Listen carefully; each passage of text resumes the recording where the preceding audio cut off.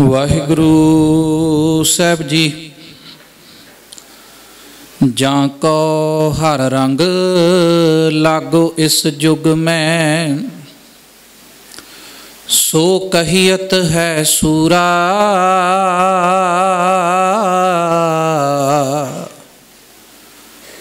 ਆਤਮ ਜਿਣੈ ਸਗਲ ਵਸ ਤਾਂ ਕੈ ਜਾਂ ਕਾ ਸਤਗੁਰ ਪੂਰਾ। ਠਾਕੁਰ ਗਾਈਏ ਆਤਮ ਰੰਗ।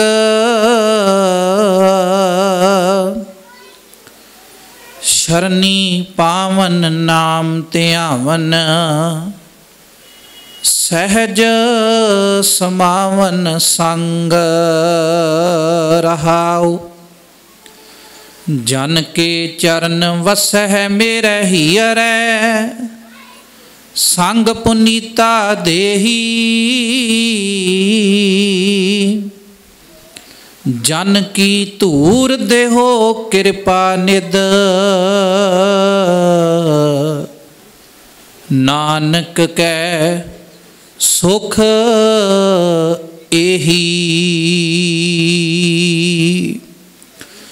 ਜੁਗੋ ਜੁਗ ਅਟਲ, ਚਵਰ ਛਤਰ ਤਖਤ ਦੇ ਮਾਲਕ, ਗੁਰਤਾ ਗੱਦੀ ਤੇ ਸੁਭਾਏਮਾਨ ਸਾਰੇ ਵਿਸ਼ਵ ਦੀ ਇਕਲੌਤੀ ਆਸ ਸਤ ਸੰਗੀਆਂ ਦੇ ਮਾਨ ਸਰੋਵਰ, ਹਾਜ਼ਰ ਨਾਜ਼ਰ ਸਤਿਗੁਰੂ ਧੰਨ ਸ੍ਰੀ ਗੁਰੂ ਗ੍ਰੰਥ ਸਾਹਿਬ ਮਹਾਰਾਜ ਜੀ ਦੀ ਪਾਵਨ ਪਵਿੱਤਰ ਹਜ਼ੂਰੀ ਵਿੱਚ, ਬੜੇ ਹੀ ਅਦਬ ਤੇ ਸਤਕਾਰ ਸਹਿਤ ਇਸ ਮਹਾਨ ਆਤਮ ਰਸ ਕਥਾ ਕੀਰਤਨ ਦਰਬਾਰ ਦੀ ਹਾਜ਼ਰੀ ਭਰ ਰਹੀ ਗੁਰੂ ਕੀ ਸਾਜੀ ਨਵਾਜੀ ਸਾਧ ਸੰਗਤ ਵੱਡੇ ਭਾਗਾਂ ਵਾਲੇ ਹਾਂ, ਜੋ ਹਰ ਸਾਲ ਦੀ ਤਰ੍ਹਾਂ ਬੜੇ ਹੀ ਪਿਆਰ ਸਤਕਾਰ ਸਹਿਤ ਗੁਰਮਤ ਸਮਾਗਮਾਂ ਵਿੱਚ ਹਾਜ਼ਰੀ ਭਰ ਰਹੇ ਹਾਂ।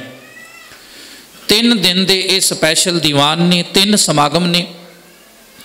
ਅੱਜ ਪਹਿਲਾ ਦੀਵਾਨ ਹੈ। ਮੇਰੇ ਤੋਂ ਪਹਿਲਾਂ ਬਹੁਤ ਹੀ ਸਤਕਾਰਯੋਗ ਭਾਈ ਸਾਹਿਬ ਜੀ ਨੇ ਆਪ ਜੀ ਨੂੰ ਸਤਿਗੁਰਾਂ ਦੀ ਪਾਵਨ ਪਵਿੱਤਰ ਬਾਣੀ ਦਾ ਕੀਰਤਨ ਸਰਵਣ ਕਰਵਾਇਆ ਹੈ। ਇੱਕ ਵਿਦਵਾਨ ਨੇ ਇੱਕ ਗ੍ਰੰਥ ਦੇ ਵਿੱਚ ਬੜੀ ਕੀਮਤੀ ਗੱਲ ਲਿਖੀ ਹੈ। ਉਹ ਉਹਦੇ ਵਿੱਚ ਤਿੰਨ ਸੱਸਿਆਂ ਦੀ ਗੱਲ ਕਰਦਿਆਂ ਲਿਖਦਾ ਹੈ। ਕਹਿੰਦਾ ਪਹਿਲਾ ਸੱਸਾ ਹੈ ਸੁਣਨਾ, ਜਿਵੇਂ ਕੀਰਤਨ ਅਸੀਂ ਸੁਣਿਆ ਹੈ। ਤੇ ਸੁਣਦਾ ਗੁਰੂ ਗ੍ਰੰਥ ਸਾਹਿਬ ਮਹਾਰਾਜ ਦੀ ਬਾਣੀ ਦੇ ਵਿੱਚ ਬਹੁਤ ਮਹਾਤਮ ਹੈ। ਜਦੋਂ ਅਸੀਂ ਬਾਬਾ ਨਾਨਕ ਸਾਹਿਬ ਜੀ ਦੀ ਜਪ ਬਾਣੀ ਪੜ੍ਹਦੇ ਹਾਂ ਜਿੱਥੇ ਹਜੂਰ ਨੇ ਮੰਨੇ ਦੀਆਂ ਪੌੜੀਆਂ ਉਚਾਰਨ ਕੀਤੀਆਂ, ਉੱਥੇ ਮੰਨਣ ਤੋਂ ਪਹਿਲਾਂ ਸੁਣਨ ਦੀ ਗੱਲ। ਤੇ ਜਦੋਂ ਤੁਸੀਂ ਸਿੱਖ ਇਤਿਹਾਸ ਜਾਂ ਗੁਰੂ ਕਾਲ ਵੱਲ ਨਿਗਾਹ ਮਾਰੋਗੇ, ਭਾਈ ਲਹਿਣਾ ਜੀ ਦਾ ਜੀਵਨ ਬਦਲਿਆ, ਲਹਿਣੇ ਤੋਂ ਅੰਗਦ ਬਣੇ, ਉਹਦੇ ਪਿੱਛੇ ਕੇਵਲ ਤੇ ਕੇਵਲ ਸੁਣਨ ਦੀ ਸਪਿਰਟ ਕੰਮ ਕਰਦੀ ਹੈ ਕਿ ਪਿਤਾ ਪੁਰਖੀ ਬੜੇ ਲੰਬੇ ਸਮੇਂ ਤੋਂ ਅਨਮਤੀ ਤੇ ਮਨਮਤੀ ਥਾਵਾਂ ਤੇ ਜਾ ਕੇ ਸੀਸ ਝੁਕਾਉਂਦੇ ਸਨ, ਪਰ ਅਜੇ ਤੱਕ ਮਨ ਨੂੰ ਸਕੂਨ ਨਹੀਂ ਮਿਲਿਆ। ਜਦੋਂ ਧੰਨ ਗੁਰੂ ਨਾਨਕ ਸਾਹਿਬ ਜੀ ਦੇ ਇੱਕ ਸਿੱਖ ਭਾਈ ਜੋਧ ਜੀ ਪਾਸੋਂ ਆਪਣੇ ਕੰਨਾਂ ਦੇ ਨਾਲ ਗੁਰੂ ਕੀ ਬਾਣੀ ਦਾ ਸ਼ਬਦ ਸੁਣਿਆ, ਜਿਤ ਸੇਵਿਐ ਸੁਖ ਪਾਈਐ ਸੋ ਸਾਹਿਬ ਸਦਾ ਸੰਭਾਲੀਐ, ਜਿਤ ਕੀਤਾ ਪਾਈਐ, ਆਪਣਾ ਸਾ ਘਾਲ ਬੁਰੀ ਕਿਉਂ ਘਾਲੀਐ? ਤੇ ਇੱਕਦਮ ਭਾਈ ਲੈਣਾ ਪੁੱਛਦਾ ਪੁਰਖਾ, ਇਹ ਬਚਨ ਕਿਹਦਾ ਪੜਿਆ ਹੈ? ਇਤਿਹਾਸ ਕਹਿੰਦਾ ਭਾਈ ਜੋਧ ਜੀ ਕਹਿਣ ਲੱਗੇ, ਮੇਰੇ ਗੁਰੂ ਨਾਨਕ ਸਾਹਿਬ ਦੀ ਬਾਣੀ ਹੈ, ਮਿਲਾ ਸਕਦਾ ਹੈ? ਤੇ ਭਾਈ ਸਾਹਿਬ ਕਹਿਣ ਲੱਗੇ, ਉਹ ਗੁਰੂ ਨਾਨਕ ਸਾਹਿਬ ਇਸ ਵੇਲੇ ਕਰਤਾਰਪੁਰ ਸਾਹਿਬ ਦੀ ਧਰਤੀ ਤੇ ਸੁਭਾਏਮਾਨ ਨੇ। ਜੇ ਮਨਮਤ ਨੂੰ ਛੱਡ ਕੇ ਭਾਈ ਲੈਣਾ ਕਰਤਾਰਪੁਰ ਦੇ ਰਾਹ ਪਿਆ, ਉਹਨੇ ਕੇਵਲ ਤੇ ਕੇਵਲ ਆਪਣੇ ਕੰਨਾਂ ਦੇ ਨਾਲ, ਆਪਣੇ ਸਰਵਣਾ ਦੇ ਨਾਲ ਪੰਕਤੀ ਬਾਣੀ ਦੀ ਸੁਣੀ ਸੀ। ਇੱਥੇ ਹੀ ਬਸ ਨਹੀਂ, ਬਾਬਾ ਅਮਰਦਾਸ ਜਿਨ੍ਹਾਂ ਦੀ ਉਮਰ ਬਹੁਤ ਹੋ ਚੁੱਕੀ ਹੈ, ਕਈ ਸਾਲ ਹੋ ਗਏ ਨੇ ਉਹਨਾਂ ਨੂੰ ਗੰਗਾ ਤੇ ਜਾਂਦਿਆਂ ਇਸ਼ਨਾਨ ਕਰਦਿਆਂ, ਤੀਰਥਾਂ ਤੇ ਜਾਂਦਿਆਂ, ਪਰ ਅੱਜ ਗੁਰੂ ਅੰਗਦ ਸਾਹਿਬ ਦੀ ਬੇਟੀ ਬੀਬੀ ਅਮਰੋ, ਜੋ ਬਾਬਾ ਅਮਰਦਾਸ ਦੇ ਸਕੇ ਭਤੀਜੇ ਬਾਬਾ ਜੱਸੂ ਜੀ ਨਾਲ ਵਿਆਹੀ ਹੋਈ ਹੈ, ਅੰਮ੍ਰਿਤ ਵੇਲੇ ਬੀਬੀ ਅਮਰੋ ਉੱਠੀ ਨਾਲੇ ਦੁੱਧ ਰਿੜਕਦੀ ਪਈ ਹੈ ਤੇ ਨਾਲੇ ਧੰਨ ਗੁਰੂ ਨਾਨਕ ਸਾਹਿਬ ਮਹਾਰਾਜ ਸੱਚੇ ਪਾਤਸ਼ਾਹ ਦੀ ਬਾਣੀ ਪੜ੍ਹਦੀ ਪਈ ਹੈ। ਕਰਨੀ ਕਾਗਦ, ਮਨ ਮਸਵਾਣੀ, ਬੁਰਾ ਭਲਾ ਦੋਏ ਲੇਖ ਪਏ, ਜਿਉਂ-ਜਿਉਂ ਕਿਰਤ ਚਲਾਏ ਤਿਉਂ ਚੱਲੀਐ, ਤਉ ਗੁਣ ਨਾਹੀ ਅੰਤ ਹਰੇ ਚਿਤ ਚੇਤਸ ਕੀ ਨਹੀਂ ਬਾਵਰਿਆ, ਹਰ ਬਿਸਰਤ ਤੇਰੇ ਗੁਣ ਗਲਿਆ। ਸਿਰ ਤੇ ਹੱਥ ਰੱਖ ਕੇ ਕਹਿਣ ਲੱਗੇ, ਮੇਰੀਏ ਧੀਏ, ਇਹ ਸ਼ਬਦ ਕੀ ਦੇ ਪੜੇ ਨੇ? ਕਈ ਸਾਲ ਹੋ ਗਏ ਨੇ ਬਾਬੇ ਅਮਰਦਾਸ ਨੂੰ ਗੰਗਾ ਦੇ ਜਾਂਦਿਆਂ। ਸੱਚ ਜਾਣੀ, ਤੇਰੀ ਰਸਨਾ ਤੋਂ ਇਹ ਸ਼ਬਦ ਸੁਣ ਕੇ ਜਿੰਨਾ ਸਕੂਨ ਬਾਬੇ ਅਮਰਦਾਸ ਨੂੰ ਮਿਲਿਆ ਹੈ, ਜ਼ਿੰਦਗੀ ਵਿੱਚ ਅੱਜ ਤੋਂ ਪਹਿਲਾਂ ਕਿਤੇ ਨਹੀਂ ਸੀ ਮਿਲਿਆ। ਤੇ ਬੀਬੀ ਅਮਰੋ ਕਹਿਣ ਲੱਗੀ, ਜੀ, ਇਹ ਬਾਣੀ ਗੁਰੂ ਨਾਨਕ ਸਾਹਿਬ ਦੀ ਮਿਲਾ ਸਕਦੀ ਹੈ ਬੱਚੀਏ। ਤੇ ਬੀਬੀ ਅਮਰੋ ਨੇ ਕਿਹਾ ਕਿ ਪਿਤਾ ਜੀ ਗੁਰੂ ਨਾਨਕ ਸਾਹਿਬ ਅੱਜ ਸਰੀਰ ਕਰਕੇ ਮੌਜੂਦ ਨਹੀਂ, ਪਰ ਉਹਨਾਂ ਦੀ ਜਗ੍ਹਾ ਤੇ ਗੁਰਗੱਦੀ ਦੇ ਉੱਤੇ ਮੇਰੇ ਪਿਤਾ ਗੁਰੂ ਅੰਗਦ ਸਾਹਿਬ ਖਡੂਰ ਸਾਹਿਬ ਦੀ ਧਰਤੀ 'ਤੇ ਬਿਰਾਜਮਾਨ ਨੇ। ਜੇਕਰ ਮਨਮਤਾਂ ਨੂੰ ਛੱਡ ਕੇ ਬਾਬਾ ਅਮਰਦਾਸ, ਧੰਨ ਗੁਰੂ ਅੰਗਦ ਸਾਹਿਬ ਸੱਚੇ ਪਾਤਸ਼ਾਹ ਮਹਾਰਾਜ ਦੀ ਸ਼ਰਨ ਵਿੱਚ ਆਏ, ਫਿਰ 12 ਸਾਲ ਲਗਾਤਾਰ ਬਿਆਸਾ ਤੋਂ ਜਲ ਢੋ ਕੇ ਗੁਰੂ ਅੰਗਦ ਸਾਹਿਬ ਜੀ ਦਾ ਇਸ਼ਨਾਨ ਕਰਾ ਕੇ ਸੇਵਾ ਕੀਤੀ ਤੇ ਜੇ ਬਾਬੇ ਅਮਰਦਾਸ ਤੋਂ ਤੀਸਰੇ ਪਾਤਸ਼ਾਹ ਗੁਰੂ ਅਮਰਦਾਸ ਬਣੇ, ਇਹਦੇ ਪਿੱਛੇ ਵੀ ਭਾਵਨਾ ਕੇਵਲ ਤੇ ਕੇਵਲ ਸੁਣ ਦੀ ਹੀ ਕੰਮ ਕਰਦੀ ਪਈ ਹੈ। ਇਸ ਕਰਕੇ ਉਹ ਵਿਦਵਾਨ ਲਿਖਦਾ, ਪਹਿਲਾ ਸੱਸਾ ਹੈ ਸੁਣਨਾ ਤੇ ਫਿਰ ਉਹ ਕਹਿੰਦਾ, ਦੂਜੇ ਸਟੈਪ ਤੇ ਆਓ, ਦੂਸਰਾ ਹੈ ਸਮਝਣਾ। ਸੁਣਿਆ ਜਾਂਦਾ ਹੈ ਗੁਰੂ ਕੀ ਬਾਣੀ ਨੂੰ, ਸੁਣਿਆ ਜਾਂਦਾ ਹੈ ਕੀਰਤਨ ਨੂੰ ਤੇ ਸਮਝਿਆ ਜਾਂਦਾ ਹੈ ਗੁਰੂ ਕੀ ਕਥਾ ਰਾਹੀਂ। ਜਿਹੜੇ ਕੀਰਤਨ ਨੂੰ ਗੁਰੂ ਕੇ ਕੀਰਤਨੀਏ ਪਿਆਰ ਨਾਲ ਗਾਉਂਦੇ ਨੇ ਰਾਗਾਂ ਦੇ ਅੰਦਰ, ਸੱਚ ਜਾਣਿਓ, ਉਹਨਾਂ ਸ਼ਬਦਾਂ ਦੀ ਵਿਚਾਰ ਤੇ ਗੁਰੂ ਗ੍ਰੰਥ ਸਾਹਿਬ ਦੀ ਬਾਣੀ ਤੇ ਇਤਿਹਾਸ ਦੀ ਵਿਚਾਰ ਕਰਨੀ ਇਹ ਹੈ ਸਮਝਣਾ। ਹੁਣ ਜੇ ਕਿਤੇ ਇਦਾਂ ਹੋਏ ਕਿ ਮਨੁੱਖ ਸਾਰੀ ਉਮਰ ਪਹਿਲੇ ਸਟੈਪ ਤੇ ਰਵੇ, ਵੀ ਸੁਣੀ ਜਾਵੇ, ਦੂਜੇ ਸਟੈਪ ਤੱਕ ਪਹੁੰਚਣ ਦਾ ਯਤਨ ਨਾ ਕਰੇ, ਜੋ ਸੁਣਿਆ ਉਹਨੂੰ ਸਮਝੇ ਨਾ ਤੇ ਕਈ ਵਾਰ ਫਿਰ ਵਿਦਵਾਨ ਲਿਖਦੇ ਨੇ, ਪਹਿਲਾ ਸੱਸਾ ਕੇਵਲ ਤੇ ਕੇਵਲ ਕੰਨ ਰਸ ਤੱਕ ਹੀ ਸੀਮਤ ਰਹਿ ਜਾਂਦਾ ਹੈ। ਇਸ ਕਰਕੇ ਸੁਣਨਾ ਵੀ ਜ਼ਰੂਰੀ ਤੇ ਸੁਣ ਤੋਂ ਬਾਅਦ ਸਮਝਣਾ ਵੀ ਜ਼ਰੂਰੀ। ਸਮਝਿਆ ਜਾਂਦਾ ਗੁਰੂ ਕੀ ਕਥਾ ਰਾਹੀਂ, ਤਾਂ ਹੀ ਗੁਰੂ ਅਰਜਨ ਸਾਹਿਬ ਨੇ ਸੁਖਮਨੀ ਸਾਹਿਬ ਦੇ ਅੰਦਰ ਲਿਖਿਆ, ਸਭ ਤੇ ਊਤਮ ਹਰ ਕੀ ਕਥਾ, ਨਾਮ ਸੁਨਤ, ਦਰਦ ਦੁਖ ਲਥਾ। ਫਿਰ ਉਹ ਵਿਦਵਾਨ ਲਿਖਦਾ ਹੈ, ਕਹਿੰਦਾ ਜਦੋਂ ਸੁਣ ਵੀ ਲਿਆ ਜਦੋਂ ਦੂਜਾ ਸੱਸਾ ਸਮਝ ਵੀ ਲਿਆ, ਫਿਰ ਤੀਸਰਾ ਸੱਸਾ ਹੈ ਸਮਾ ਜਾਣਾ ਕਿ ਜੋ ਗੁਰੂ ਨਾਨਕ ਦੇ ਘਰ ਵਿੱਚ ਆ ਕੇ ਸੁਣਿਆ, ਜੋ ਸਮਝਿਆ, ਉਹਨੂੰ ਆਪਣੀ ਪ੍ਰੈਕਟੀਕਲ ਲਾਈਫ ਦੇ ਅੰਦਰ, ਆਪਣੀ ਨਿੱਜੀ ਜ਼ਿੰਦਗੀ ਦੇ ਅੰਦਰ ਧਾਰਨ ਕਰਨਾ, ਜਿੰਨੂੰ ਮੇਰੇ ਗੁਰੂ ਨਾਨਕ ਸਾਹਿਬ ਦਾਤੇ ਨੇ ਲਿਖਿਆ, ਸੁਣਿਆ, ਮੰਨਿਆ, ਮਨ ਕੀਤਾ ਭਾਓ, ਅੰਤਰਗਤ ਤੀਰਥ ਮਲ ਨਾਓ। ਤੇ ਜਿਨ੍ਹਾਂ ਨੇ ਫਿਰ ਇਸ ਵਿਚਾਰ ਨੂੰ ਆਪਣੇ ਜੀਵਨ ਤੇ ਲਾਗੂ ਕੀਤਾ ਉਹ ਗੁਰੂ ਦੇ ਘਰ ਵਿੱਚ ਸਤਕਾਰੇ ਗਏ। ਉਹਨਾਂ ਨੂੰ ਕਿਸੇ ਨੇ ਭਾਈ ਸਾਹਿਬ ਕਿਹਾ, ਕਿਸੇ ਨੇ ਸੰਤ ਕਿਹਾ, ਕਿਸੇ ਨੇ ਬ੍ਰਹਮ ਗਿਆਨੀ ਕਿਹਾ, ਕਿਸੇ ਨੇ ਗੁਰਮੁਖ ਕਿਹਾ, ਕਿਸੇ ਨੇ ਗੁਰਸਿੱਖ ਕਿਹਾ। ਇਹ ਸਾਰੇ ਲਕਬ ਉਹਨਾਂ ਵਾਸਤੇ ਜੁੜੇ ਜਿਨ੍ਹਾਂ ਨੇ ਗੁਰੂ ਨਾਨਕ ਦੇ ਘਰ ਵਿੱਚ ਆ ਕੇ ਸੁਣਿਆ ਵੀ, ਸਮਝਿਆ ਵੀ ਤੇ ਉਹਨੂੰ ਆਪਣੀ ਜ਼ਿੰਦਗੀ ਦੇ ਅੰਦਰ ਵੀ ਧਾਰਨ ਕੀਤਾ। ਖੈਰ, ਮਹਾਰਾਜ ਸੱਚੇ ਪਾਤਸ਼ਾਹ ਨੇ ਕਿਰਪਾ ਕੀਤੀ ਹੈ। ਕਿ ਆਪਾਂ ਬੜੀ ਏਕਤਾ, ਪਿਆਰ ਤੇ ਇਤਫਾਕ ਨਾਲ ਗੁਰੂ ਦੀ ਗੋਦ ਵਿੱਚ ਜੁੜ ਕੇ ਬੈਠੇ ਹਾਂ। ਅੱਜ ਦਾ ਦਿਨ ਸਿੱਖ ਇਤਿਹਾਸ ਦੇ ਅੰਦਰ ਬਹੁਤ ਹਿਸਟੋਰੀਕਲ ਦਿਨ ਹੈ। ਅੱਜ ਦੇ ਦਿਨ ਜਦੋਂ ਅਸੀਂ ਅਰਦਾਸ ਹਰ ਰੋਜ਼ ਗੁਰੂ ਗ੍ਰੰਥ ਸਾਹਿਬ ਦੇ ਚਰਨਾਂ ਅੰਦਰ ਕਰਦੇ ਹਾਂ ਤੇ ਗੁਰੂ ਕਾ ਅਰਦਾਸੀਆ ਇੱਕ ਪੰਕਤੀ ਪੜਦਾ ਹੈ, ਜਿਨ੍ਹਾਂ ਸਿੰਘਾਂ ਸਿੰਘਣੀਆਂ ਧਰਮ ਹੇਤ ਸੀਸ ਦਿੱਤੇ ਬੰਦ ਬੰਦ ਕਟਾਏ, ਖੋਪਰੀਆਂ ਲੁਹਾਈਆਂ, ਚਰਖੀਆਂ ਤੇ ਚੜੇ ਤਨ ਆਰਿਆ ਨਾ ਚਰਵਾਏ, ਤੇ ਇਹਦੇ ਤੋਂ ਅੱਗੇ ਇੱਕ ਪੰਕਤੀ ਆਉਂਦੀ ਹੈ ਜੀ, ਗੁਰਦੁਆਰਿਆਂ ਦੀ ਸੇਵਾ ਲਈ ਕੁਰਬਾਨੀਆਂ ਕੀਤੀਆਂ। ਕਿ ਗੁਰਦੁਆਰਿਆਂ ਦੀ ਸੇਵਾ ਸੰਭਾਲ ਵਾਸਤੇ ਵੀ ਸਿੱਖਾਂ ਨੂੰ ਕੁਰਬਾਨੀਆਂ ਕਰਨੀਆਂ ਪਈਆਂ? ਤੇ ਅੱਜ ਦਾ ਦਿਨ ਜਦੋਂ ਇਤਿਹਾਸ ਦੇ ਅੰਦਰ ਪੜੋਗੇ, ਤੇ ਤੁਹਾਡੇ ਸਾਹਮਣੇ ਇੱਕ ਗੱਲ ਆਵੇਗੀ ਕਿ ਹਾਂ, ਦਾਤਾ ਵਾਕਿਆ ਹੀ ਤੇਰੇ ਗੁਰਧਾਮਾਂ ਦੀ ਇੱਜ਼ਤ ਆਬਰੂ ਨੂੰ ਸੁਰੱਖਿਅਤ ਰੱਖਣ ਵਾਸਤੇ ਤੇਰੇ ਬਜ਼ੁਰਗਾਂ ਨੇ, ਤੇਰੇ ਇਸ ਗੁਰੂ ਘਰ ਦੇ ਲਾਲਾ ਨੇ ਇੱਥੇ ਇੰਨੀਆਂ ਕੁਰਬਾਨੀਆਂ ਕੀਤੀਆਂ ਤੇ ਫੇਰ ਕਿਤੇ ਪੰਥ ਦੇ ਹੱਥ ਵਿੱਚ ਗੁਰਧਾਮਾਂ ਦਾ ਪ੍ਰਬੰਧ ਆਇਆ। ਮੇਰੇ ਕਹਿਣ ਤੋਂ ਭਾਵ, ਅੱਜ ਦੇ ਇਤਿਹਾਸਕ ਦਿਨ ਦੇ ਉੱਤੇ ਦੋ ਸਾਕੇ ਵਾਪਰੇ ਨੇ। ਇੱਕ ਤੇ 21 ਫਰਵਰੀ ਸਨ 1921 ਨੂੰ ਨਨਕਾਣਾ ਸਾਹਿਬ ਦਾ ਸਾਕਾ ਤੇ ਦੂਸਰਾ 21 ਫਰਵਰੀ 1924 ਜਿਹੜਾ ਨਨਕਾਣਾ ਸਾਹਿਬ ਦੇ ਸਾਕੇ ਤੋਂ 3 ਸਾਲ ਬਾਅਦ ਜਾ ਕੇ ਗੁਜ਼ਰਿਆ ਉਹ ਉਸੀ ਗੰਗਸਰ ਜੈਤੋ ਦਾ ਮੋਰਚਾ, ਜਿਹਦੇ ਵਿੱਚ 150 ਸਿੱਖਾਂ ਨੂੰ ਅੰਗਰੇਜ਼ ਸਰਕਾਰ ਨੇ ਗੋਲੀਆਂ ਨਾਲ ਭੁੰਨ ਦਿੱਤਾ ਔਰ ਨਨਕਾਣਾ ਸਾਹਿਬ ਦਾ ਸਾਕਾ, ਜਿਹਦੇ ਵਿੱਚ ਲਗਭਗ 200 ਸਿੱਖ, ਜਿਨ੍ਹਾਂ ਨੂੰ ਜਿੰਦਾ ਪਕੜ ਕੇ ਪੱਠੀਆਂ 'ਚ ਸਿੱਟ ਕੇ ਔਰ ਉਥੇ ਵੱਡੇ ਵੱਡੇ ਜਿਹੜੇ ਟੋਕੇ ਸਨ, ਉਹਨਾਂ ਨਾਲ ਜਿੰਦਾ ਵੱਢ ਕੇ ਕਤਲ ਕਰਕੇ ਬੜੇ ਸਖਤ ਤਸੀਹੇ ਦੇ ਕੇ ਜੰਡ ਨਾਲ ਪੁੱਠਿਆਂ ਲਮਕਾ ਕੇ ਉੱਪਰ ਮਿੱਟੀ ਦਾ ਤੇਲ ਸਿੱਟ ਕੇ ਸ਼ਹੀਦ ਕੀਤਾ ਗਿਆ। ਭਾਵ ਕਿ ਅੱਜ ਦੇ ਦਿਨ ਸਰਦਾਰ ਲక్ష్మణ ਸਿੰਘ ਧਾਰੋਵਾਲੀ, ਭਾਈ ਦਲੀਪ ਸਿੰਘ, ਭਾਈ ਵਰਿਆਮ ਸਿੰਘ, ਇਤ ਆਦਿਕ 200 ਸਿੰਘਾਂ ਦਾ ਸ਼ਹੀਦੀ ਦਿਹਾੜਾ ਹੈ, ਜਿਹਨੂੰ ਸਾਕਾ ਨਨਕਾਣਾ ਸਾਹਿਬ ਕਰਕੇ ਸਿੱਖ ਧਰਮ ਵਿੱਚ ਯਾਦ ਕੀਤਾ ਜਾਂਦਾ ਹੈ। ਇਸ ਕਰਕੇ ਮੈਂ ਚਾਹੁੰਦਾ, ਜਿੰਨਾ ਕੁ ਸਮਾਂ ਮੈਨੂੰ ਤੁਸੀਂ ਬਖਸ਼ਿਸ਼ ਕੀਤਾ ਹੈ, ਮੈਂ ਆਪਣੇ ਸਮੇਂ ਵਿੱਚ ਕੇਵਲ ਤੇ ਕੇਵਲ ਇਸ ਇਤਿਹਾਸ ਦੀ ਵਿਚਾਰ ਤੁਹਾਡੇ ਨਾਲ ਸਾਂਝੀ ਕਰ ਸਕਾਂ। ਗੁਰੂ ਕੀ ਸਾਧ ਸੰਗਤ ਨਨਕਾਣਾ ਸਾਹਿਬ ਦਾ ਪਹਿਲਾ ਨਾਂ ਹੈ ਰਾਏ ਭੋਏ ਦੀ ਤਲਵੰਡੀ। ਇਹਦਾ ਨਾਂ ਨਨਕਾਣਾ ਸਾਹਿਬ ਉਦਨ ਪਿਆ ਜਿੱਦਨ ਮੇਰੇ ਗੁਰੂ ਨਾਨਕ ਸਾਹਿਬ ਸੱਚੇ ਪਾਤਸ਼ਾਹ ਨੇ ਇਸ ਧਰਤੀ ਦੇ ਉੱਤੇ ਆਗਮਨ ਲੈ ਕੇ, ਜਨਮ ਲੈ ਕੇ ਇਸ ਪਵਿੱਤਰ ਧਰਤੀ ਨੂੰ ਭਾਗ ਲਾਏ। ਵੈਸੇ ਗੁਰੂ ਨਾਨਕ ਸਾਹਿਬ ਸੱਚੇ ਪਾਤਸ਼ਾਹ, ਜਿਨ੍ਹਾਂ ਦੇ ਪਿਤਾ ਦਾ ਨਾਮ ਬਾਬਾ ਮਹਿਤਾ ਕਾਲੂ ਤੇ ਬਾਬਾ ਮਹਿਤਾ ਕਾਲੂ ਜੀ ਦਾ ਪੂਰੇ ਵਰਲਡ ਦੇ ਵਿੱਚ ਇੱਕੋ ਹੀ ਗੁਰਦੁਆਰਾ ਹੈ। ਉਹ ਡਿਸਟ੍ਰਿਕਟ ਤਰਨਤਾਰਨ ਪੰਜਾਬ ਦੀ ਧਰਤੀ ਤੇ ਹੈ, ਜਿਸ ਪਿੰਡ ਦਾ ਨਾਮ ਹੈ ਪੱਠੇ ਤੇ ਅੱਜ ਕੱਲ ਇਹਨੂੰ ਡੇਰਾ ਸਾਹਿਬ ਕਰਕੇ ਵੀ ਆਪਣੇ ਧਰਮ ਦੇ ਅੰਦਰ ਜਾਣਿਆ ਜਾਂਦਾ ਹੈ। ਉੱਥੇ ਬਾਬਾ ਮਹਿਤਾ ਕਾਲੂ ਜੀ ਦਾ ਜਨਮ ਹੋਇਆ।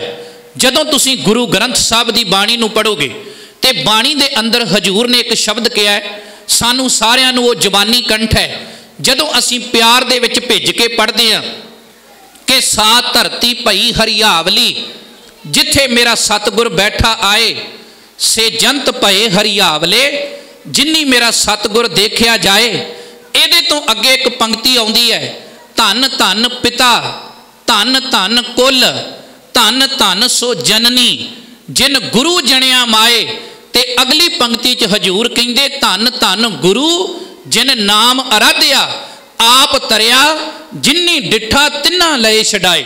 ਹੁਣ ਇਹ ਨੁਕਤਾ ਬੜਾ ਵਿਚਾਰਨ ਵਾਲਾ ਹੈ। ਇਹਦੇ 'ਚ ਜਿੱਥੇ ਗੁਰੂ ਦੀ ਮਾਂ ਨੂੰ ਜਨਨੀ ਨੂੰ ਧੰਨ ਕਿਹਾ, ਜਿੱਥੇ ਗੁਰੂ ਨੂੰ ਖੁਦ ਨੂੰ ਧੰਨ ਕਿਹਾ, ਜਿੱਥੇ ਗੁਰੂ ਦਾ ਆਗਮਨ ਹੋਇਆ, ਉਸ ਧਰਤੀ ਨੂੰ ਧੰਨ ਕਿਹਾ, ਗੁਰੂ ਦੇ ਦਰਸ਼ਨ ਕਰਨ ਵਾਲੇ ਸਿੱਖਾਂ ਨੂੰ ਧੰਨ ਕਿਹਾ, ਉੱਥੇ ਸਭ ਤੋਂ ਪਹਿਲਾਂ ਕਿੰਨੂੰ ਧੰਨ ਕਿਹਾ? ਉਹ ਕਿਹਾ ਗੁਰੂ ਦੇ ਪਿਤਾ ਨੂੰ, ਵੀ ਧੰਨ ਧੰਨ ਪਿਤਾ, ਮਾਂ ਵੀ ਬਾਦ ਅੰਦਰ, ਸੱਚ ਜਾਣਿਓ, ਉੱਥੇ ਕੁੱਲ ਵੀ ਬਾਦ ਅੰਦਰ, ਗੁਰੂ ਦੇ ਸਿੱਖ ਵੀ ਬਾਦ ਵਿੱਚ ਸਭ ਤੋਂ ਪਹਿਲਾਂ ਗੁਰੂ ਦੇ ਪਿਤਾ ਨੂੰ ਧੰਨ ਕਰਕੇ ਸਨਮਾਨਿਆ ਗਿਆ। ਹੁਣ ਜਦੋਂ ਤੁਸੀਂ ਗੁਰੂ ਗ੍ਰੰਥ ਸਾਹਿਬ ਦੀ ਬਾਣੀ ਪੜੋਗੇ ਤੇ ਹਜੂਰ ਦੀ ਬਾਣੀ ਵਿੱਚ ਤਿੰਨ ਗੁਰੂ ਸਾਹਿਬ ਨੇ, ਜਿਨ੍ਹਾਂ ਦੇ ਪਿਤਾ ਗੁਰੂ ਨਹੀਂ ਸਨ। ਮੈਂ ਦੁਬਾਰਾ ਸ਼ਬਦ ਰਿਪੀਟ ਕਰਨ ਲੱਗਾ ਜੀ, ਗੌਰ ਦੇ ਕੇ ਸੁਣਿਓ। ਤਿੰਨ ਗੁਰੂ ਸਾਹਿਬ, ਜਿਨ੍ਹਾਂ ਦੇ ਪਿਤਾ ਗੁਰੂ ਨਹੀਂ ਸਨ, ਉਹਨਾਂ ਦਾ ਜ਼ਿਕਰ ਗੁਰੂ ਗ੍ਰੰਥ ਸਾਹਿਬ ਦੀ ਬਾਣੀ ਦੇ ਅੰਦਰ ਉਹਨਾਂ ਦੇ ਪਿਤਾ ਦਾ ਨਾਂ ਸਤਕਾਰ ਨਾਲ ਆਇਆ ਹੈ। ਇੱਕ ਦੂਸਰੇ ਪਾਤਸ਼ਾਹ ਗੁਰੂ ਅੰਗਦ ਦੇਵ ਮਹਾਰਾਜ ਜਿਨ੍ਹਾਂ ਦੇ ਪਿਤਾ ਦਾ ਨਾਂ ਸੀ ਬਾਬਾ ਫੇਰੂ ਮੱਲ, ਤੇ ਉਹਨਾਂ ਦਾ ਜ਼ਿਕਰ ਭੱਟਾ ਨੇ ਗੁਰੂ ਕੀ ਬਾਣੀ ਵਿੱਚ ਕੀਤਾ ਜਦੋਂ ਤੁਸੀਂ ਬਾਣੀ ਨੂੰ ਪੜੋਗੇ ਹਜੂਰ ਕਹਿੰਦੇ, ਗੁਰ ਜਗਤ ਫਿਰਨ ਸ਼ੀ ਅੰਗਰੋ, ਰਾਜ ਜੋਗ ਲੈਣਾ ਕਰੇ। ਕਿ ਬਾਬੇ ਫੇਰੂ ਦੇ ਸ਼ੇਰ ਪੁੱਤਰ ਗੁਰੂ ਅੰਗਦ ਸਾਹਿਬ ਨੇ ਇਸ ਸੰਸਾਰ ਤੇ ਆ ਕੇ ਰਾਜ ਵੀ ਮਾਣਿਆ ਤੇ ਜੋਗ ਵੀ ਮਾਣਿਆ। ਇਹਦੇ ਤੋਂ ਬਾਅਦ ਅੱਗੇ ਗੁਰੂ ਅਮਰਦਾਸ ਸੱਚੇ ਪਾਤਸ਼ਾਹ, ਜਿਨ੍ਹਾਂ ਦੇ ਪਿਤਾ ਦਾ ਨਾਂ ਸੀ ਬਾਬਾ ਤੇਜ ਭਾਨ ਉਹਨਾਂ ਦਾ ਨਾਮ ਵੀ ਗੁਰੂ ਗ੍ਰੰਥ ਸਾਹਿਬ ਦੀ ਬਾਣੀ ਅੰਦਰ ਆਇਆ, ਜਦੋਂ ਤੁਸੀਂ ਪੜ੍ਹਦੇ ਹੋ, ਭਲੋ ਪ੍ਰਸਿੱਧ ਤੇਜੋ ਤਨੋ, ਜਸ ਜਗਤਰ ਪਰਛਾਇਓ ਕਿ ਬਾਬੇ ਤੇਜ ਭਾਨ ਦੇ ਪੁੱਤਰ ਗੁਰੂ ਅਮਰਦਾਸ ਦਾ ਜਸ ਦੁਨੀਆ ਦੇ ਉੱਤੇ ਕਮਾਲ ਤਰੀਕੇ ਨਾਲ ਪ੍ਰਗਟ ਹੋਇਆ। ਹੁਣ ਅੱਗੇ ਹੈ ਗੁਰੂ ਰਾਮਦਾਸ ਸਾਹਿਬ, ਜਿਨ੍ਹਾਂ ਦੇ ਪਿਤਾ ਦਾ ਨਾਮ ਹੈ ਬਾਬਾ ਹਰਦਾਸ ਜੀ। ਹੁਣ ਬਾਬਾ ਹਰਦਾਸ ਗੁਰੂ ਨਹੀਂ, ਬਾਬਾ ਤੇਜ ਭਾਨ ਗੁਰੂ ਨਹੀਂ, ਬਾਬਾ ਫੇਰੂ ਗੁਰੂ ਨਹੀਂ ਪਰ ਇਹਨਾਂ ਦਾ ਨਾਂ ਗੁਰੂ ਗ੍ਰੰਥ ਸਾਹਿਬ ਵਿੱਚ ਲਿਖਿਆ ਔਰ ਅਸੀਂ ਪੜ੍ਹਦੇ ਹਾਂ, ਕਬ ਕਲ ਠੱਕਰ ਹਰਦਾਸ ਤਨੇ, ਗੁਰ ਰਾਮਦਾਸ ਸਰ ਅਪਰ ਪਰੇ। ਮੈਂ ਇਹ ਸ਼ਬਦ ਤਾਂ ਵਰਤਿਆ ਸੀ ਕਿ ਤਿੰਨ ਗੁਰੂ ਸਾਹਿਬਾਨ, ਜਿਨ੍ਹਾਂ ਦੇ ਪਿਤਾ ਗੁਰੂ ਨਹੀਂ, ਵੈਸੇ ਨਾਂ ਗੁਰੂ ਅਰਜਨ ਸਾਹਿਬ ਦਾ ਵੀ ਬਾਣੀ ਵਿੱਚ ਆਇਆ। ਗੁਰੂ ਅਰਜਨ ਸਾਹਿਬ, ਗੁਰੂ ਹਰਗੋਬਿੰਦ ਸਾਹਿਬ ਦੇ ਪਿਤਾ ਸਨ। ਸੱਚ ਜਾਣਿਓ, ਨਾਂ ਗੁਰੂ ਰਾਮਦਾਸ ਜੀ ਦਾ ਵੀ ਬਾਣੀ ਅੰਦਰ ਆਇਆ, ਪਰ ਗੁਰੂ ਰਾਮਦਾਸ ਇੱਕ ਗੁਰੂ ਦੇ ਪਿਤਾ ਨੇ ਇਸ ਕਰਕੇ ਮੈਂ ਉਹਨਾਂ ਨੂੰ ਛੱਡ ਕੇ ਕੇਵਲ ਤੇ ਕੇਵਲ ਉਹਨਾਂ ਤਿੰਨ ਗੁਰੂ ਦੇ ਪਿਤਾਵਾਂ ਦਾ ਜ਼ਿਕਰ ਕੀਤਾ ਜਿਹੜੇ ਆਪ ਗੁਰੂ ਨਹੀਂ ਸੀ, ਪਰ ਹਜੂਰ ਸੱਚੇ ਪਾਤਸ਼ਾਹ ਦੀ ਬਾਣੀ ਵਿੱਚ ਉਹਨਾਂ ਦਾ ਨਾਮ ਹੀ ਆਉਂਦਾ ਹੈ।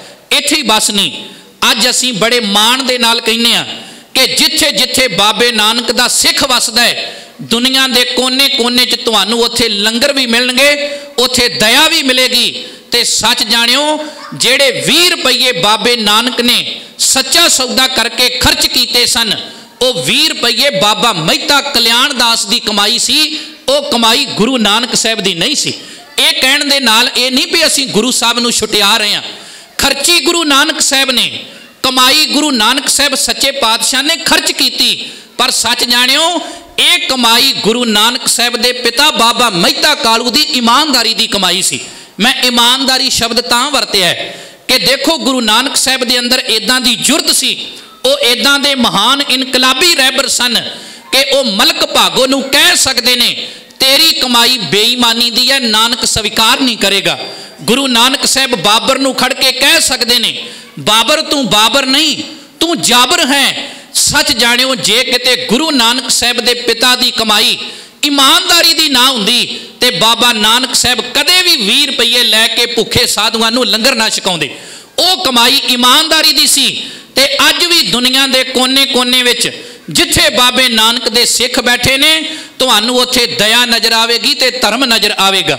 ਆ ਪਿਛਲੇ ਸਮੇਂ 'ਚ ਤੁਸੀਂ ਦੇਖਿਆ ਪੜ੍ਹੇ ਲਿਖੇ ਸੱਜਣ ਗੁਰੂ ਕੀ ਸੰਗਤ ਵਿੱਚ ਬੈਠੇ ਹੋ। ਜਦੋਂ ਬੋਧੀ ਮੁਸਲਮਾਨਾਂ ਨੇ, ਰੋਹਿੰਗੀਆ ਮੁਸਲਮਾਨਾਂ ਦੇ ਉੱਤੇ ਜ਼ੁਲਮ ਕੀਤੇ, ਬਰਮਾ ਦੀ ਧਰਤੀ ਦੇ ਉੱਤੇ ਹੁਣ ਦੋ ਕੌਮਾਂ ਆਪਸ ਵਿੱਚ ਲੜਦੀਆਂ ਪਈਆਂ ਨੇ ਔਰ ਬੋਧੀਆਂ ਨੇ, ਰਹਿੰਗੀਆਂ ਮੁਸਲਮਾਨਾਂ ਦੇ ਬੱਚੇ ਤੱਕ ਘਰੋਂ ਬਾਹਰ ਕੱਢ ਕੇ ਸੜਕਾਂ ਤੇ ਲੈ ਆਂਦੇ। ਉਹਨਾਂ ਨੂੰ ਘਰੋਂ ਬੇਘਰ ਕਰ ਦਿੱਤਾ। ਦੋ ਕੌਮਾਂ ਆਪਸ ਵਿੱਚ ਲੜਦੀਆਂ ਪਈਆਂ ਨੇ, ਪਰ ਬਾਬੇ ਨਾਨਕ ਦੇ ਸਿੱਖ ਬਰਮਾ ਦੀ ਧਰਤੀ ਤੇ ਜਾ ਕੇ ਲੰਗਰ ਲਾ ਕੇ ਦੁਨੀਆ ਨੂੰ ਦੱਸਦੇ ਪਏ ਨੇ ਕਿ ਦਇਆ ਕਿਨੂੰ ਕਹਿੰਦੇ ਨੇ ਤੇ ਧਰਮ ਨੂੰ ਨਿਭਾਉਣਾ ਕਿਨੂੰ ਕਹਿੰਦੇ ਹਨ। ਖਾਲਸਾ ਏਡ ਵਾਲੇ ਵੀਰਾਂ ਨੇ ਬਹੁਤ ਸੇਵਾ ਕੀਤੀ ਜੀ ਬਰਮਾ ਦੀ ਧਰਤੀ ਤੇ। 25000 ਸਿੱਖ, ਉਥੇ 25000 ਲੋਕਾਂ ਦਾ ਲੰਗਰ। ਹਰ ਰੋਜ਼ ਇਹ ਗੁਰੂ ਕੇ ਸਿੱਖ ਤਿਆਰ ਕਰਕੇ ਲੋੜਵੰਦਾਂ ਦੇ ਮੂੰਹ ਵਿੱਚ ਪਾਉਂਦੇ ਰਹੇ। ਮੈਂ ਕੱਲੀ ਖਾਲਸਾ ਏਡ ਦੀ ਗੱਲ ਨਹੀਂ ਕਰਦਾ। ਸੱਚ ਜਾਣਿਓ, ਆ ਕਸ਼ਮੀਰ ਦੀ ਧਰਤੀ ਤੇ ਪਿਛਲੇ ਸਮੇਂ ਬਹੁਤ ਵੱਡੇ ਵੱਡੇ ਫਲੱਡ ਆਏ ਹੜ ਆਏ। ਹੁਣ ਉੱਥੇ ਸਿੱਖ ਬਹੁਤ ਘੱਟ ਰਹਿੰਦੇ ਨੇ। 90% ਆਬਾਦੀ ਮੁਸਲਮਾਨ ਭਰਾਵਾਂ ਦੀ ਹੈ। ਪਰ ਸੱਚ ਜਾਣਿਓ, ਸਿੱਖ ਜਦੋਂ ਸਮਾਜ ਦੇ ਅੰਦਰ ਦਇਆ ਕਰਦਾ ਹੈ, ਦਾਨ ਪੁੰਨ ਕਰਦਾ ਹੈ, ਉਹ ਕਦੇ ਨਹੀਂ ਦੇਖਦਾ ਕਿ ਕਿਸੇ ਦਾ ਧਰਮ ਕੀ ਹੈ ਮਜਬ ਕੀ ਹੈ। ਉਹ ਧਰਮ ਤੇ ਜਾਤਾਂ ਪਾਤਾਂ ਦੇ ਵਿਤਕਰੇ ਤੋਂ ਉੱਪਰ ਉੱਠ ਕੇ ਹਰ ਇੱਕ ਨੂੰ ਹੀ ਆਪਣੇ ਕਲਾਵੇ ਵਿੱਚ ਲੈਂਦਾ ਹੈ। ਇਹੀ ਕਾਰਨ ਹੈ ਕਿ ਗੁਰੂ ਰਾਮਦਾਸ ਸਾਹਿਬ ਦੇ ਲੰਗਰ ਵਿੱਚੋਂ ਸ੍ਰੀ ਅੰਮ੍ਰਿਤਸਰ ਸਾਹਿਬ ਦੀ ਧਰਤੀ ਤੋਂ ਉੱਥੇ 1 ਲੱਖ ਬੰਦੇ ਦਾ ਲੰਗਰ ਹਰ ਰੋਜ਼ ਪੱਕ ਕੇ ਤਿਆਰ ਹੋ ਕੇ ਤੇ ਜਿਸ ਹਵਾਈ ਜਹਾਜ਼ ਥਾਣੀ ਕਸ਼ਮੀਰ ਦੀ ਧਰਤੀ ਤੇ ਪਹੁੰਚਦਾ ਰਿਹਾ, ਉਸ ਹਵਾਈ ਜਹਾਜ਼ ਦਾ ਖਰਚਾ ਤੱਕ ਗੁਰੂ ਨਾਨਕ ਦੇ ਸਿੱਖਾਂ ਨੇ ਆਪਣੀ ਜੇਬ ਵਿੱਚੋਂ ਕੀਤਾ, ਗੁਰੂ ਕੀ ਗੋਲਕ ਵਿੱਚੋਂ ਕੀਤਾ। ਕਿਉਂ ਕੀਤਾ ਜੀ? ਕਿਉਂਕਿ ਸਿੱਖ ਆਪਣੀਆਂ ਅੱਖਾਂ ਦੇ ਸਾਹਮਣੇ ਕਦੇ ਜ਼ੁਲਮ ਹੁੰਦਾ ਤੱਕ ਹੀ ਨਹੀਂ ਸਕਦਾ। ਇਹ ਤੇ ਸਾਡੇ ਸਿਧਾਂਤ ਦੇ ਅੰਦਰ ਹੈ, ਇਹ ਸਾਡੇ ਜੀਨ ਦੇ ਅੰਦਰ ਹੈ। ਖੈਰ, ਮੈਂ ਆਪਣੇ ਵਿਸ਼ੇ ਦੇ ਉੱਤੇ ਵਾਪਸ ਆਉਣਾ ਚਾਹੁੰਦਾ ਜੀ। ਜਦੋਂ ਅੰਗਰੇਜ਼ ਆਏ ਇਸ ਹਿੰਦੁਸਤਾਨ ਦੀ ਧਰਤੀ ਦੇ ਉੱਤੇ, ਉਹਨਾਂ ਨੇ ਦੇਖਿਆ ਕਿ ਅਸੀਂ ਕਿਹੜੀ ਪਲੈਨਿੰਗ ਹੈ ਜਿਹਦੇ ਨਾਲ ਇਸ ਭਾਰਤ ਨੂੰ ਲੰਬਾ ਸਮਾਂ ਗੁਲਾਮ ਰੱਖ ਸਕਨੇ ਆ? ਉਹਨਾਂ ਨੇ ਸਰਵੇ ਕੀਤਾ ਤੇ ਸਰਵੇ ਕਰਕੇ ਗੁਪਤ ਰਿਪੋਰਟਾਂ ਇੰਗਲੈਂਡ ਦੀ ਧਰਤੀ ਤੇ ਭੇਜੀਆਂ ਕਿ ਸਾਨੂੰ ਹਿੰਦੁਸਤਾਨ 'ਚ ਰਹਿਣ ਵਾਲੀ ਕਿਸੇ ਕੌਮ ਤੋਂ ਖਤਰਾ ਨਹੀਂ, ਬਲਕਿ ਇੱਕ ਕੌਮ ਨੂੰ ਛੱਡ ਕੇ। ਉਹਨਾਂ ਨੇ ਪੁੱਛਿਆ, ਕਿਹੜੀ ਕੌਮ? ਕਹਿਣ ਲੱਗੇ, ਜੀ, ਗੁਰੂ ਨਾਨਕ ਸਾਹਿਬ ਦੇ ਸਿੱਖ। ਅੱਗੋਂ ਫੇਰ ਸਵਾਲ ਆਇਆ ਕਿ ਇਹ ਸਿੱਖ ਇੰਨੇ ਮਾਰਸ਼ਲ ਕਿਵੇਂ ਨੇ? ਇਹ ਸਿੱਖ ਇੰਨੇ ਜਜ਼ਬੇ ਵਾਲੇ ਕਿਵੇਂ ਨੇ? ਲੜਾਕੇ ਕਿਵੇਂ ਨੇ? ਤੇ ਅੱਗੋਂ ਪਤਾ ਲੱਗਾ ਜੀ, ਜ਼ੁਲਮ ਹੁੰਦਾ ਬਾਬੇ ਨਾਨਕ ਦੇ ਸਿੱਖ ਅੱਖਾਂ ਨਾਲ ਨਹੀਂ ਤੱਕ ਸਕਦੇ। ਇਹ ਸਾਰੇ ਚੰਗੇ ਵਿਚਾਰ ਇਹਨਾਂ ਨੂੰ ਉਹਨਾਂ ਦੇ ਗੁਰਦੁਆਰਿਆਂ ਦੇ ਵਿੱਚੋਂ ਹੀ ਮਿਲਦੇ ਹਨ। ਅਸੀਂ ਬੜੇ ਪਿਆਰ ਨਾਲ ਬਾਬਾ ਨਾਨਕ ਸਾਹਿਬ ਦੀ ਇੱਕ ਪੰਕਤੀ ਪੜ੍ਹਦੇ ਹਾਂ। ਮੇਰੇ ਹਜੂਰ ਦੇ ਬੋਲ ਨੇ, ਭਾਂਡਾ ਹੱਛਾ ਸੋਏ ਜੋ ਤਿਸ ਭਾਵ ਸੀ, ਭਾਂਡਾ ਆਤਮ ਲੀਨ ਧੋਤਾ ਹੱਛਾ ਨਾ ਹੋਏ ਸੀ। ਹਜੂਰ ਕਹਿੰਦੇ ਨੇ, ਸਾਡੇ ਹਿਰਦੇ ਰੂਪੀ ਬਰਤਨ ਲਿਬੜੇ ਪਏ ਨੇ, ਇਹਦੇ ਚ ਕਾਮ, ਕ੍ਰੋਧ, ਲੋਭ, ਮੋਹ, ਹੰਕਾਰ ਬੈਠਾ ਹੈ। ਚੁਗਲੀ, ਨਿੰਦਿਆ, ਈਰਖਾ ਅਵਗਨ ਨੇ ਤੇ ਕਿਸੇ ਨੇ ਸਵਾਲ ਕੀਤਾ, ਬਾਬਾ ਜੀ, ਇਹਨਾਂ ਆਪਣੇ ਬਰਤਨਾਂ ਨੂੰ ਸਾਫ਼ ਕਿਵੇਂ ਕਰ ਸਕਦੇ ਆ ਅਸੀਂ ਆਪਣੇ ਮਨ ਨੂੰ ਕਿਵੇਂ ਸਾਫ਼ ਕਰ ਸਕਦੇ ਆ ਤੇ ਹਜੂਰ ਨੇ ਅਗਲੀ ਪੰਕਤੀ ਵਿੱਚ ਕਿਹਾ, ਗੁਰੂ ਦੁਆਰੇ ਹੋਏ ਸੋਝੀ ਪਾਏ ਸੀ, ਏਤ ਦੁਆਰੇ ਧੋਏ ਹੱਛਾ ਹੋਏ ਸੀ। ਇਹਦਾ ਮਤਲਬ ਕਿ ਗੁਰਦੁਆਰੇ ਚੋਂ ਆ ਕੇ ਹੀ ਸੋਝੀ ਮਿਲਦੀ ਹੈ। ਗੁਰਦੁਆਰੇ ਚੋਂ ਆ ਕੇ ਜੀਵਨ ਜਿਉਣ ਦਾ ਤਰੀਕਾ ਮਿਲਦਾ ਹੈ। ਅੰਗਰੇਜ਼ਾਂ ਨੇ ਕਿਹਾ, ਜੇ ਸਿੱਖਾਂ ਨੂੰ એનર્ਜੀ ਗੁਰਦੁਆਰਿਆਂ ਚੋਂ ਮਿਲਦੀ ਹੈ, ਤੇ ਜਾਓ, ਬਾਕੀ ਧਰਮਾਂ ਵਾਸਤੇ ਤੇ ਕੋਈ ਹੋਰ ਵਿਧਾਨ, ਪਰ ਇਹਨਾਂ ਦੇ ਵਾਸਤੇ ਇੱਕ ਨਵਾਂ ਵਿਧਾਨ ਲਾਗੂ ਕੀਤਾ। ਉਹ ਕੀ ਸੀ? ਇਹਨਾਂ ਨੇ ਗੁਰੂ ਕੀ ਸਾਧ ਸੰਗਤ, ਉਹ ਮਹੰਤ ਗੁਰਦੁਆਰਿਆਂ ਦੇ ਉੱਤੇ ਕਾਬਜ ਕੀਤੇ, ਜਿਨ੍ਹਾਂ ਦਾ ਸਿੱਧਾ ਸਬੰਧ ਅੰਗਰੇਜ਼ ਸਰਕਾਰ ਦੇ ਨਾਲ ਜੁੜਦਾ ਸੀ। ਕਿਉਂਕਿ ਪਹਿਲਾਂ ਮਹੰਤ ਚੁਣਦੀ ਸੀ ਗੁਰੂ ਕੀ ਸੰਗਤ, ਪਰ ਹੁਣ ਜਦੋਂ ਅੰਗਰੇਜ਼ ਇਸ ਹਿੰਦੁਸਤਾਨ ਦੀ ਧਰਤੀ ਤੇ ਆ ਕੇ ਗੁਲਾਮ ਬਣਾ ਲਿਆ ਹਿੰਦੁਸਤਾਨੀਆਂ ਨੂੰ, ਉਹਨਾਂ ਨੇ ਸਿੱਖਾਂ ਦੇ ਗੁਰਦੁਆਰਿਆਂ ਦਾ ਪ੍ਰਬੰਧ ਸਿੱਧੇ ਤੌਰ ਤੇ ਆਪਣੇ ਹੱਥਾਂ ਵਿੱਚ ਲੈ ਲਿਆ। ਉਹਨਾਂ ਕਿਹਾ, ਅੱਜ ਤੋਂ ਬਾਅਦ ਸੰਗਤ ਨਹੀਂ, ਅੱਜ ਤੋਂ ਬਾਅਦ ਮੰਤ ਜਿਹੜੇ ਨੇ, ਇਹਨਾਂ ਦੀ ਚੋਣ ਅੰਗਰੇਜ਼ ਸਰਕਾਰ ਕਰੇਗੀ।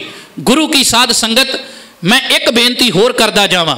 ਤੁਸੀਂ ਜਦੋਂ ਇਤਿਹਾਸ ਨੂੰ ਪੜੋਗੇ ਇਹ ਜ਼ਰੂਰੀ ਨਹੀਂ ਕਿ ਸਾਰੇ ਹੀ ਮਹੰਤ ਬੇਈਮਾਨ ਸਨ ਸਾਰੇ ਹੀ ਮਹੰਤ ਭ੍ਰਿਸ਼ਟ ਸਨ ਕੁਝ ਉਹ ਵੀ ਸਨ ਚੰਗੇ اخلاق ਵਾਲੇ ਜਿਨ੍ਹਾਂ ਦਾ ਜੀਵਨ ਮਿਆਰ ਬਹੁਤ ਉੱਚਾ ਸੀ ਮਹਾਰਾਜਾ ਰਣਜੀਤ ਸਿੰਘ ਦੇ ਵੇਲੇ ਦੀ ਇੱਕ ਘਟਨਾ ਆਉਂਦੀ ਹੈ ਵੈਸੇ ਮਹੰਤ ਸ਼ਬਦ ਮਾੜਾ ਨਹੀਂ ਇਹ ਵੱਖਰੀ ਗੱਲ ਹੈ ਕਿ ਅੱਜ ਵੀ ਤੁਸੀਂ ਦੇਖਦੇ ਹੋ ਕਈ ਐਸੇ ਸ਼ਬਦ ਨੇ ਤੁਹਾਡੇ ਇਤਿਹਾਸ ਦੇ ਅੰਦਰ ਜਿਹੜੇ ਸ਼ੁਰੂਆਤ ਦੇ ਅੰਦਰ ਬੜੇ ਸੋਹਣੇ ਸ਼ਬਦ ਸਨ ਪਰ ਹੌਲੀ-ਹੌਲੀ ਉਹਨਾਂ ਸ਼ਬਦਾਂ ਦੇ ਅੰਦਰ ਵਿਗਾੜ ਪੈਦਾ ਹੋ ਗਿਆ।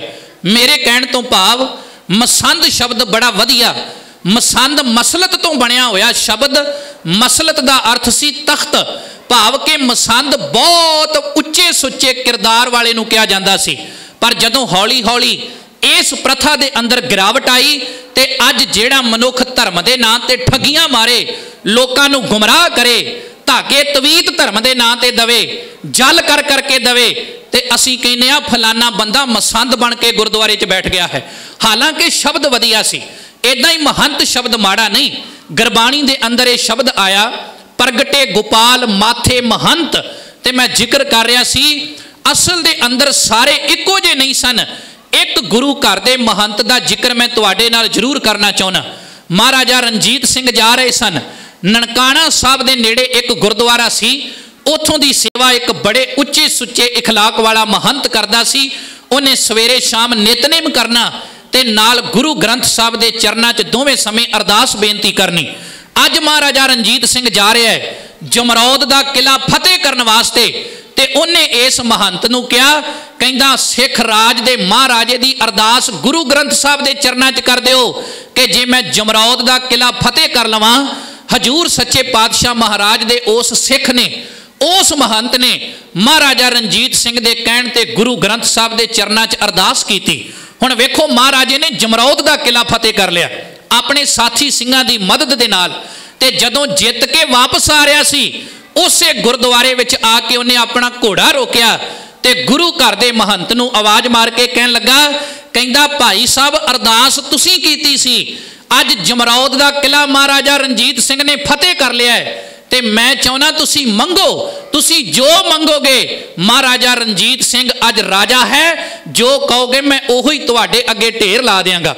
ਹੁਣ ਉਹਦਾ ਜੀਵਨ ਵੇਖਿਓ, ਲਾਲਚੀ ਨਹੀਂ ਸੀ। ਉਹਨੇ ਇੱਕ ਗੱਲ ਕੀ ਕਹਿੰਦਾ, ਮਹਾਰਾਜਾ ਤੈਨੂੰ ਆਪਣੇ ਉੱਤੇ ਗਰੂਰ ਹੋ ਗਿਆ, ਹੰਕਾਰ ਹੋ ਗਿਆ ਸੱਚ ਜਾਣੀ ਜਿੱਦਨ ਇਸ ਘਰ ਥਾਣੀ ਲੰਘਿਆ ਸੀ ਤੇ ਤੂੰ ਭਖਾਰੀ ਬਣ ਕੇ ਗਿਆ ਸਾਂ, ਆਪ ਝੁੱਕ ਕੇ ਗਿਆ ਸਾਂ ਤੇ ਅੱਜ ਤੂੰ ਰਾਜਾ ਕਿਧਰ ਦਾ ਹੋ ਗਿਆ?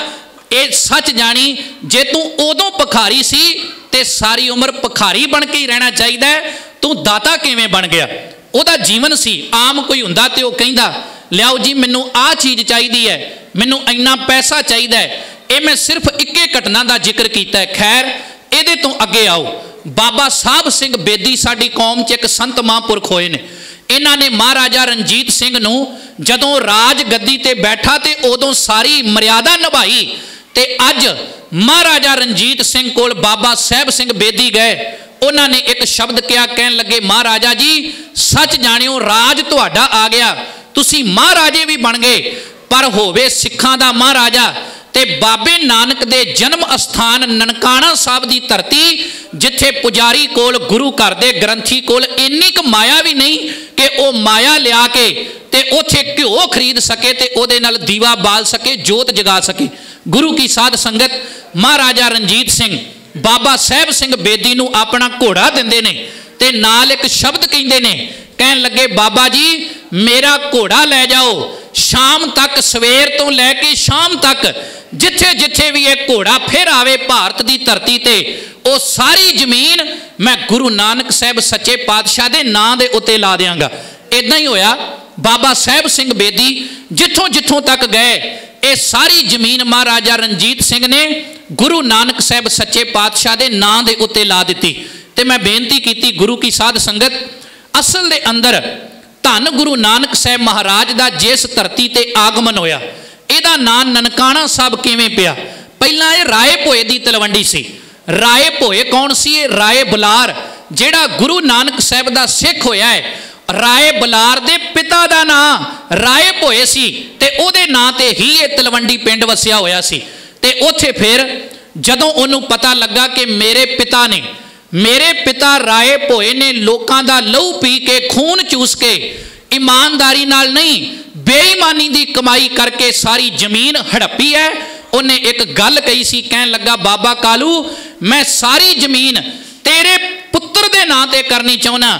ਅੱਜ ਤੋਂ ਬਾਅਦ ਇਹਨੂੰ ਰਾਏ ਭੋਏ ਦੀ ਤਲਵੰਡੀ ਨਹੀਂ, ਇਹਨੂੰ ਅੱਜ ਤੋਂ ਬਾਅਦ ਨਨਕਾਣਾ ਸਾਹਿਬ ਕਿਹਾ ਜਾਵੇ। ਹੋ ਸਕਦਾ ਵੀ ਸਾਡੇ ਬਜ਼ੁਰਗਾਂ ਦੇ ਕੀਤੇ ਹੋਏ ਗੁਨਾਹ ਕਿਤੇ ਨਾ ਕਿਤੇ ਮਾਫ ਹੋ ਜਾਣ।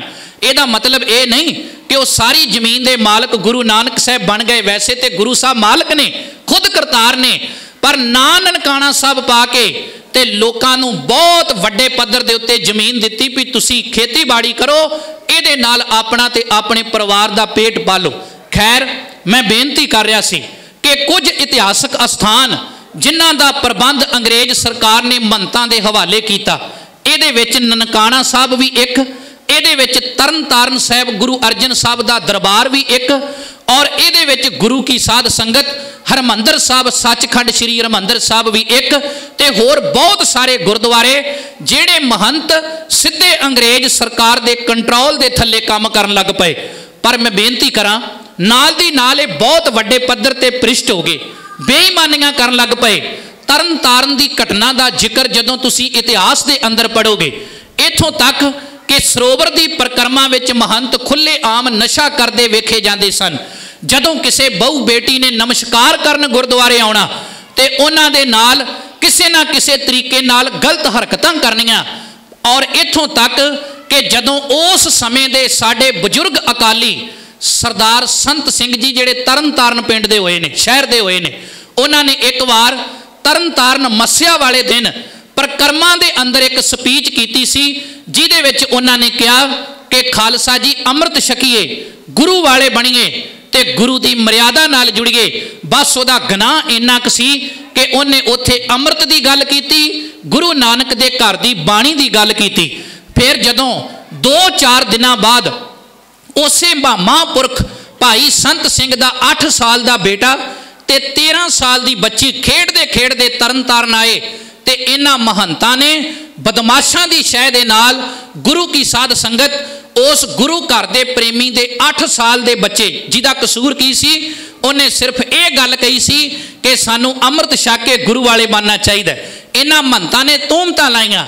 ਕਹਿੰਦੇ, ਇਹ ਅਕਾਲੀਆਂ ਦਾ ਬੰਦਾ ਹੈ। ਇਹ ਗੁਰੂ ਨਾਨਕ ਦੀ ਗੱਲ ਕਰਦਾ ਹੈ ਤੇ ਅਸੀਂ ਇਹਨਾਂ ਗੁਰਦੁਆਰਿਆਂ ਚੋਂ ਗੁਰੂ ਨਾਨਕ ਦੀ ਗੱਲ ਨੂੰ ਦੂਰ ਕਰਨਾ ਚਾਹੁੰਦੇ ਇਹਨਾਂ ਨੇ 8 ਸਾਲ ਦੇ ਬੱਚੇ ਦੇ ਗੱਲ ਵਿੱਚ ਇੱਕ ਵੱਡੇ ਪੱਥਰ ਦਾ ਟੁਕੜਾ ਬੰਨ ਕੇ ਤਰਨਤਾਰਨ ਸਾਹਿਬ ਦੇ ਸਰੋਵਰ ਵਿੱਚ ਸਿੱਟ ਦਿੱਤਾ।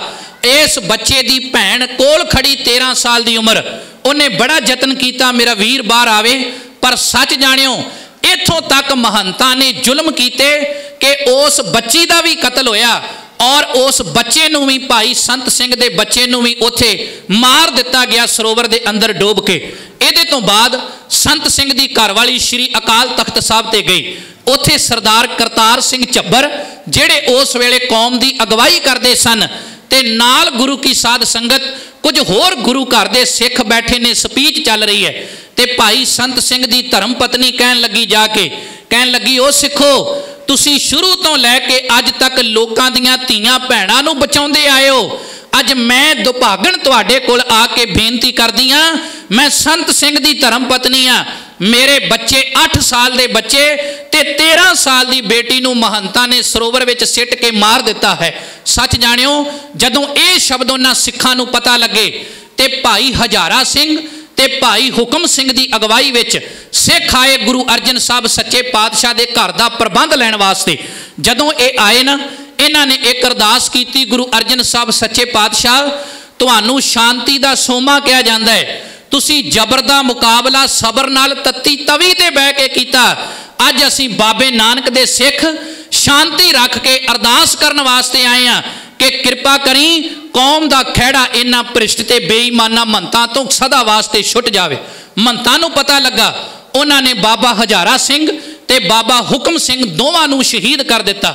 ਗੁਰੂ ਕੀ ਸਾਧ ਸੰਗਤ, ਜਦੋਂ ਭਾਈ ਹਜ਼ਾਰਾ ਸਿੰਘ ਸ਼ਹੀਦ ਹੁੰਦੇ ਨੇ, ਸੱਚ ਜਾਣਿਓ, ਉਹਨਾਂ ਦਾ ਅੰਤਮ ਸੰਸਕਾਰ ਹੁੰਦਾ ਹੈ ਤੇ ਉਹਦੇ ਤੋਂ ਬਾਅਦ ਉਹਨਾਂ ਦੀ ਮਾਂ ਉਸ ਸੰਸਕਾਰ ਦੇ ਵਿੱਚ ਆ ਕੇ ਸ਼ਾਮਲ ਹੁੰਦੀ ਹੈ।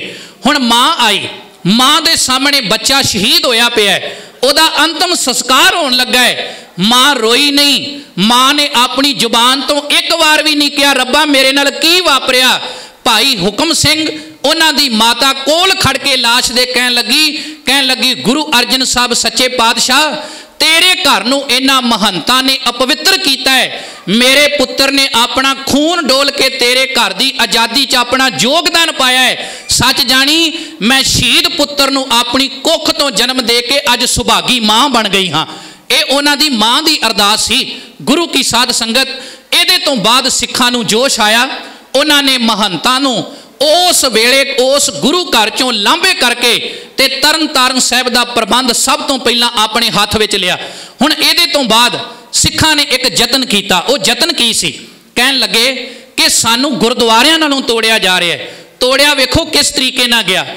1872 ਦੇ ਅੰਦਰ ਇੱਕ ਦਲਤ ਸਿੱਖ ਪਰਿਵਾਰ ਸਮੇਤ ਪਰਿਵਾਰ ਉਹ ਇਨਸਾਨ ਗੁਰਦੁਆਰਾ ਸਾਹਿਬ ਹਰਮੰਦਰ ਸਾਹਿਬ ਆਇਆ। ਕਿ ਮੇਰੀ ਕੜਾਹ ਪ੍ਰਸ਼ਾਦ ਦੀ ਦੇਗ ਪ੍ਰਵਾਨ ਕੀਤੀ ਜਾਵੇ। ਪਰ ਅਗਲੇ ਪਾਸਿਓਂ ਅੰਗਰੇਜ਼ ਸਰਕਾਰ ਨੇ ਮੰਤਾਂ ਨੂੰ ਸ਼ਹਿ ਦਿੱਤੀ ਸੀ ਕਿ ਦਲਤਾਂ ਨੂੰ ਇਹਨਾਂ ਸਿੱਖਾਂ ਦੇ ਨਾਲੋਂ ਤੋੜ ਦਿਓ। ਬਾਬਾ ਨਾਨਕ ਦਲਤਾਂ ਦੇ ਹੱਕ ਵਿੱਚ ਬੋਲਦਾ ਰਿਹਾ। ਬਾਬਾ ਨਾਨਕ ਗਰੀਬਾਂ ਦੇ ਹੱਕ ਵਿੱਚ ਬੋਲਦਾ ਰਿਹਾ।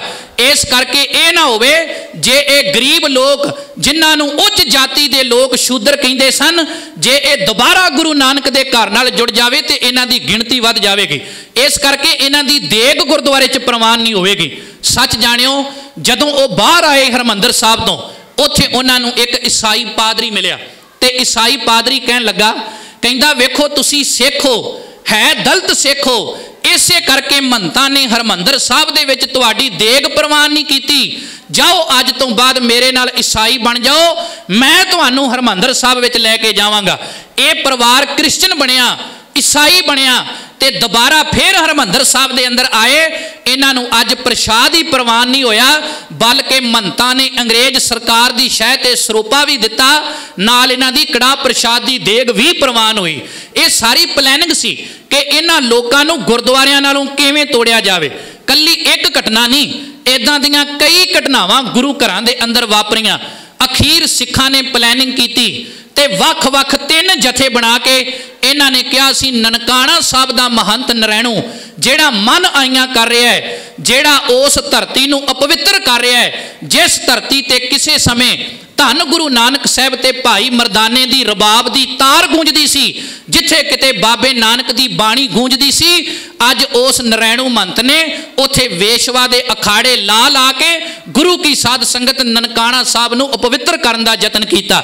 ਅੱਜ ਜਦੋਂ ਸਿੱਖ ਉਸ ਧਰਤੀ ਦੇ ਉੱਤੇ ਜਥੇ ਲੈ ਕੇ ਪਹੁੰਚੇ, ਤੇ ਸੱਚ ਜਾਣਿਓ, ਇੱਕ ਜਥੇ ਦੀ ਅਗਵਾਈ ਕਰ ਰਿਹਾ ਭਾਈ ਕਰਤਾਰ ਸਿੰਘ ਝੱਬਰ ਤੇ ਇੱਕ ਜਥੇ ਦੀ ਅਗਵਾਈ ਕਰ ਰਿਹਾ ਭਾਈ ਲక్ష్మణ ਸਿੰਘ ਧਾਰੋ ਵਾਲੀ ਲక్ష్మణ ਸਿੰਘ ਧਾਰੋ ਵਾਲੀ ਦੇ ਨਾਲ ਲਗਭਗ 200 ਸਿੰਘ ਹੈ, ਜਿਹਦੇ ਵਿੱਚ ਕੁਝ ਬੀਬੀਆਂ ਨੇ ਤੇ ਇੱਕ ਛੋਟੀ ਜੀ ਉਮਰ ਦਾ ਬੱਚਾ, ਜਿਹਦਾ ਨਾਂ ਇਤਿਹਾਸ ਦੇ ਵਿੱਚ ਦਰਬਾਰਾ ਸਿੰਘ ਕਰਕੇ ਆਇਆ ਹੈ। ਇਹ ਦਰਬਾਰਾ ਸਿੰਘ ਸਰਦਾਰ ਕੇਰ ਸਿੰਘ ਦਾ ਸੁਪੁੱਤਰ ਸੀ। ਮੈਂ ਬੇਨਤੀ ਕਰਾਂ, ਗੁਰੂ ਕੀ ਸਾਧ ਸੰਗਤ, ਇੱਕ ਅੰਗਰੇਜ਼ ਹੋਇਆ ਜੀ, ਮਿਸਟਰ ਰਿਚਰਡ।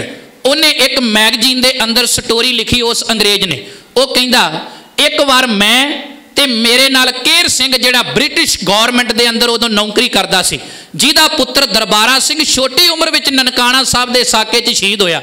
ਉਹ ਅੰਗਰੇਜ਼ ਲਿਖਦਾ ਹੈ, ਕਹਿੰਦਾ, ਮੇਰੇ ਕੋਲ ਬੰਦੂਕ ਤੇ ਸਰਦਾਰ ਕੇਰ ਸਿੰਘ ਦੇ ਕੋਲ, ਦਰਬਾਰਾ ਸਿੰਘ ਦੇ ਪਿਤਾ ਕੋਲ ਬਰਸ਼ਾ।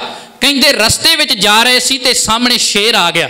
ਉਹ ਜਦੋਂ ਸ਼ੇਰ ਆਇਆ ਨਾ, ਤੇ ਕੇਰ ਸਿੰਘ ਕੋਲ ਬਰਸ਼ਾ ਤੇ ਉਹ ਧਰਤੀ ਤੇ ਖੜਾ ਹੈ। ਤੇ ਜਿਹਦੇ ਕੋਲ, ਜਿਸ ਅੰਗਰੇਜ਼ ਦੇ ਕੋਲ ਬੰਦੂਕ ਹੈ ਨਾ ਉਹ ਰੁੱਖ ਦੇ ਉੱਤੇ ਚੜ ਕੇ ਬੈਠ ਗਿਆ ਤੇ ਉਹਨੇ ਆਵਾਜ਼ ਦਿੱਤੀ, ਕਹਿੰਦਾ, ਕੇਰ ਸਿੰਘ ਜੀ, ਤੁਸੀਂ ਵੀ ਰੁੱਖ ਉੱਤੇ ਆ ਕੇ ਚੜ ਜਾਓ, ਨਹੀਂ ਤੇ ਸ਼ੇਰ ਆਵੇਗਾ ਤੇ ਤੁਹਾਡਾ ਕਤਲ ਹੋ ਜਾਵੇਗਾ। ਕੇਰ ਸਿੰਘ ਨੇ ਉੱਥੇ ਇੱਕ ਸ਼ਬਦ ਵਰਤਿਆ, ਇਹ ਮੈਂ ਆਪਣੇ ਕੋਲੋਂ ਨਹੀਂ ਕਹਿ ਰਿਹਾ। ਅੰਗਰੇਜ਼ ਦੀ ਸਟੇਟਮੈਂਟ ਹੈ, ਉਹਨੇ ਇੱਕ ਮੈਗਜ਼ੀਨ ਵਿੱਚ ਲਿਖਿਆ ਉਸ ਸਮੇਂ। ਕਹਿਣ ਲੱਗਾ, ਮੈਨੂੰ ਸਰਦਾਰ ਕੇਰ ਸਿੰਘ ਕਹਿਣ ਲੱਗਾ, ਕਹਿੰਦਾ, ਉਧਰ ਇੱਕ ਸ਼ੇਰ ਹੈ ਤੇ ਇਧਰ ਸਾਹਮਣੇ ਸ਼ੇਰ ਦੇ ਦੋ ਸ਼ੇਰ ਖੜੇ ਨੇ। ਤੇ ਉਹ ਅੰਗਰੇਜ਼ ਮਿਸਟਰ ਕਹਿਣ ਲੱਗਾ, ਕਹਿੰਦਾ, ਕੇਰ ਸਿੰਘ ਜੀ, ਦੋ ਸ਼ੇਰ ਕਿਵੇਂ? ਹੁਣ ਕੇਰ ਸ਼ਬਦ ਜਿਹੜਾ ਇਹ ਸੰਸਕ੍ਰਿਤ ਦਾ ਹੈ, ਤੇ ਸ਼ੇਰ ਨੂੰ ਸੰਸਕ੍ਰਿਤ ਦੇ ਵਿੱਚ ਕੇਰ ਕਿਹਾ ਜਾਂਦਾ ਹੈ। ਇਹਦਾ ਮਤਲਬ ਕੇਰ ਦਾ ਅਰਥ ਵੀ ਸ਼ੇਰ ਤੇ ਸਿੰਘ ਦਾ ਅਰਥ ਵੀ ਸ਼ੇਰ। ਉਥੇ ਸਰਦਾਰ ਕੇਰ ਸਿੰਘ ਕਹਿਣ ਲੱਗਾ ਉਸ ਅੰਗਰੇਜ਼ ਨੂੰ, ਕਹਿੰਦਾ, ਇੱਕ ਸ਼ੇਰ ਨਾ ਭਾਵ, ਕੇਰ ਨਾ ਮੇਰੇ ਮਾਂ-ਬਾਪ ਨੇ ਰੱਖਿਆ। ਤੇ ਦੂਜਾ ਸ਼ੇਰ ਨਾ, ਮੇਰਾ ਕਲਗੀਆਂ ਵਾਲੇ ਪਾਤਸ਼ਾਹ, ਧੰਨ ਗੁਰੂ ਗੋਬਿੰਦ ਸਿੰਘ ਮਹਾਰਾਜ ਨੇ ਰੱਖਿਆ। ਇਸ ਕਰਕੇ ਸ਼ੇਰ ਵੇਖ ਕੇ ਮੈਂ ਘਬਰਾ ਕਿਵੇਂ ਸਕਣਾ ਉਹ ਅੰਗਰੇਜ਼ ਨੇ ਲਿਖਿਆ ਕਹਿੰਦਾ, ਜਿਹਦੇ ਕੋਲ ਬੰਦੂਕ ਸੀ, ਉਹ ਰੁੱਖ ਤੇ ਚੜ ਗਿਆ। ਤੇ ਸਰਦਾਰ ਕੇਰ ਸਿੰਘ ਕੋਲ ਬਰਸ਼ਾ ਸੀ, ਉਹਨੇ ਬਰਸ਼ੇ ਨਾਲ ਸ਼ੇਰ ਦਾ ਕਤਲ ਕਰਕੇ ਉਸੇ ਸ਼ੇਰ ਨੂੰ ਮਾਰ ਮੁਕਾਇਆ। ਬੜਾ ਬਹਾਦਰ ਸੀ ਸਰਦਾਰ ਕੇਰ ਸਿੰਘ। ਇਹਦਾ ਬੱਚਾ ਦਰਬਾਰਾ ਸਿੰਘ, ਉਮਰ ਬੜੀ ਛੋਟੀ ਤੇ ਮਾਂ ਦਾ ਸਾਇਆ ਸਿਰ ਤੇ ਨਹੀਂ। ਜਦੋਂ ਚੱਲਿਆ ਲక్ష్మణ ਸਿੰਘ ਧਾਰੋ ਵਾਲੀ ਦਾ ਜਥਾ, ਕੇਰ ਸਿੰਘ ਵੀ ਜਥੇ 'ਚ ਸ਼ਾਮਲ ਹੋਇਆ ਤੇ ਆਪਣੇ ਨਿੱਕੇ ਜੇ ਬੱਚੇ ਨੂੰ ਕਹਿਣ ਲੱਗਾ, ਪੁੱਤਰਾ, ਤੂੰ ਸਾਡੇ ਜਥੇ ਵਿੱਚ ਨਹੀਂ ਜਾਵੇਂਗਾ। ਤੇ ਇਹ ਬੱਚਾ ਬਾਪ ਦੀਆਂ ਲੱਤਾਂ ਨਾਲ ਚਿੰਬੜ ਗਿਆ। ਕਹਿਣ ਲੱਗਾ ਪਿਤਾ ਜੀ ਦੱਸੋ ਮੈਨੂੰ ਅੰਮ੍ਰਿਤ ਛਕਾਇਆ ਕਿ ਨਹੀਂ? ਕੇਰ ਸਿੰਘ ਕਹਿਣ ਲੱਗਾ, ਤੂੰ ਅੰਮ੍ਰਿਤ ਛਕਿਆ ਤੇ ਕਹਿਣ ਲੱਗਾ ਪਿਤਾ ਜੀ ਜਦੋਂ ਅੰਮ੍ਰਿਤ ਛਕੀਏ, ਅਸੀਂ ਵਾਸੀ ਕਿੱਥੋਂ ਦੇ ਬਣਦੇ ਆ ਤੇ ਪਿਤਾ ਕਹਿਣ ਲੱਗਾ ਆਨੰਦਪੁਰ ਸਾਹਿਬ ਦੇ, ਸਾਡਾ ਪਿਤਾ ਕੌਣ? ਤੇ ਪਿਤਾ ਕੇਰ ਸਿੰਘ ਬੱਚੇ ਨੂੰ ਕਹਿਣ ਲੱਗਾ, ਗੁਰੂ ਗੋਬਿੰਦ ਸਿੰਘ, ਸਾਡੀ ਮਾਂ ਕੌਣ? ਤੇ ਪਿਤਾ ਕਹਿਣ ਲੱਗਾ, ਬੱਚਿਆ, ਮਾਂ ਸਹਿਬ ਕੌਰ, ਸਾਡੇ ਭਰਾ ਕੌਣ? ਤੇ ਪਿਤਾ ਨੇ ਕਿਹਾ, ਬਾਬਾ ਜੋਰਾਵਰ ਸਿੰਘ ਤੇ ਬਾਬਾ ਫਤਿਹ ਸਿੰਘ। ਅੱਜ ਦਰਬਾਰਾ ਸਿੰਘ ਕਹਿਣ ਲੱਗਾ, ਪਿਤਾ ਜੀ, ਕਿੱਡੀ ਹੈਰਾਨੀ ਦੀ ਗੱਲ। ਨਾਲੇ ਤੇ ਬਾਬਾ ਜੋਰਾਵਰ ਸਿੰਘ, ਫਤਿਹ ਸਿੰਘ ਮੇਰੇ ਭਰਾ ਬਣ ਗਏ ਅੰਮ੍ਰਿਤ ਛਕਣ ਤੋਂ ਬਾਅਦ। ਉਹਨਾਂ ਦਾ ਇਤਿਹਾਸ ਸਾਨੂੰ ਤੁਸੀਂ ਸੁਣਾਇਆ ਕਿ ਕਿਵੇਂ ਨਿੱਕੀਆਂ ਜਿੰਦਾਂ ਨੇ ਵੱਡੇ ਸਾਕੇ ਕੀਤੇ, ਉਹਨਾਂ ਨੂੰ ਸਰਹੰਦ ਦੀਆਂ ਦੀਵਾਰਾਂ ਵਿੱਚ ਚਿਣ ਕੇ ਸ਼ਹੀਦ ਕੀਤਾ। ਜੇ ਮੇਰੇ ਭਰਾ ਛੋਟੀ ਉਮਰ ਵਿੱਚ ਸ਼ਹੀਦੀਆਂ ਦੇ ਸਕਦੇ ਨੇ ਮੈਂ ਵੀ ਗੁਰੂ ਗੋਬਿੰਦ ਸਿੰਘ ਦਾ ਪੁੱਤਰ ਹਾਂ, ਮੈਂ ਤੁਹਾਡੇ ਨਾਲ ਜਥੇ 'ਚ ਕਿਉਂ ਨਹੀਂ ਜਾ ਸਕਦਾ? ਇਤਿਹਾਸ ਕਹਿੰਦਾ, ਉਹ ਬੱਚਾ ਤੁਰਿਆ। ਬਾਪ ਨੇ ਵਾਸਤਾ ਪਾਇਆ ਪੁੱਤਰਾ 12.5 ਕੋਹ ਦਾ ਪੈਂਡਾ ਤੈਨੂੰ ਚੱਲਣਾ ਪਵੇਗਾ। ਹੋ ਸਕਦਾ ਰਸਤੇ 'ਚ ਪੀਣ ਲਈ ਪਾਣੀ ਵੀ ਨਾ ਮਿਲੇ ਪਰ ਗੁਰੂ ਕੀ ਸਾਧ ਸੰਗਤ, ਉਹ ਬੱਚਾ ਨਾਲ ਗਿਆ, ਕਿੰਨਾ ਜਜ਼ਬਾ ਹੋਵੇਗਾ? ਜਦੋਂ ਨਨਕਾਣਾ ਸਾਹਿਬ ਦੇ ਨੇੜੇ ਭਾਈ ਲక్ష్మణ ਸਿੰਘ ਧਾਰੋ ਵਾਲੀ ਦਾ ਜਥਾ ਪਹੁੰਚਿਆ, ਉਹਦੇ ਚ ਦੋ ਬੀਬੀਆਂ ਸੀ ਤੇ ਆਪਣੀ ਜੇਬ ਦੇ ਵਿੱਚੋਂ ਇਹਨਾਂ ਸਿੱਖਾਂ ਨੇ 12 ਰੁਪਏ ਕੱਢ ਕੇ ਉਹਨਾਂ ਭੈਣਾਂ ਦੇ ਹੱਥ ਤੇ ਰੱਖ ਕੇ ਕਿਹਾ, ਭੈਣੋ, ਤੁਸੀਂ ਵਾਪਸ ਚਲੀਆਂ ਜਾਓ। ਵਾਪਸ ਇਸ ਕਰਕੇ ਜਾਣਾ ਹੈ ਕਿ ਜਦੋਂ ਤੁਹਾਡੇ ਭਰਾ ਨਨਕਾਣਾ ਸਾਹਿਬ ਦੀ ਧਰਤੀ ਤੇ ਜਾ ਕੇ ਸ਼ਹੀਦ ਹੋ ਗਏ, ਤੁਸੀਂ ਇਹਨਾਂ 12 ਰੁਪਈਆਂ ਦੇ ਨਾਲ ਸਾਡੇ ਸ਼ਹੀਦ ਹੋਣ ਤੋਂ ਬਾਅਦ ਸਾਡੇ ਵਾਸਤੇ ਸ੍ਰੀ ਅਖੰਡ ਪਾਠ ਸਾਹਿਬ ਆਰੰਭ ਕਰਾ ਦਿਓ। ਵੇਖੋ ਕਿੱਡਾ ਵੱਡਾ ਜਜ਼ਬਾ ਹੋਵੇਗਾ।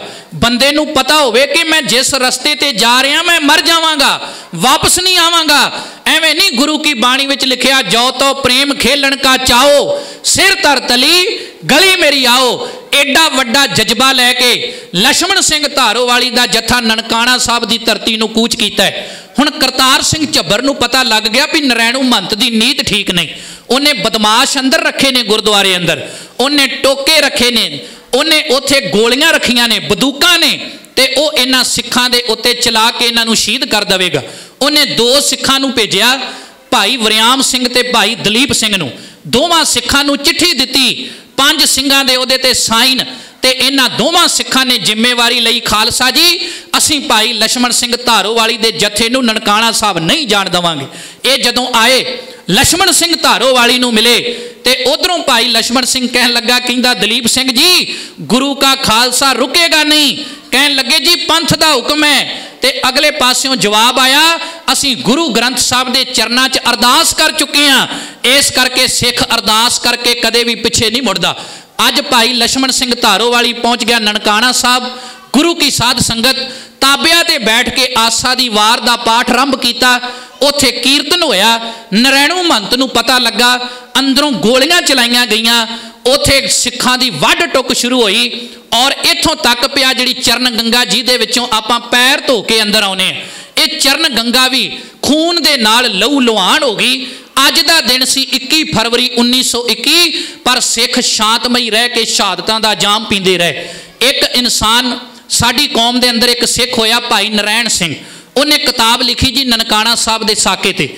ਕਿਉਂਕਿ ਉਹ ਗੁਰਦੁਆਰੇ ਦਾ ਮੈਨੇਜਰ ਸੀ ਉਸ ਵੇਲੇ। 10 ਸਾਲ ਨਨਕਾਣਾ ਸਾਹਿਬ ਦਾ ਮੈਨੇਜਰ ਰਿਹਾ ਉਹ ਕਹਿੰਦਾ, ਮੈਂ ਚਸ਼ਮਦੀਦ ਗਵਾਹ ਵਾਂ।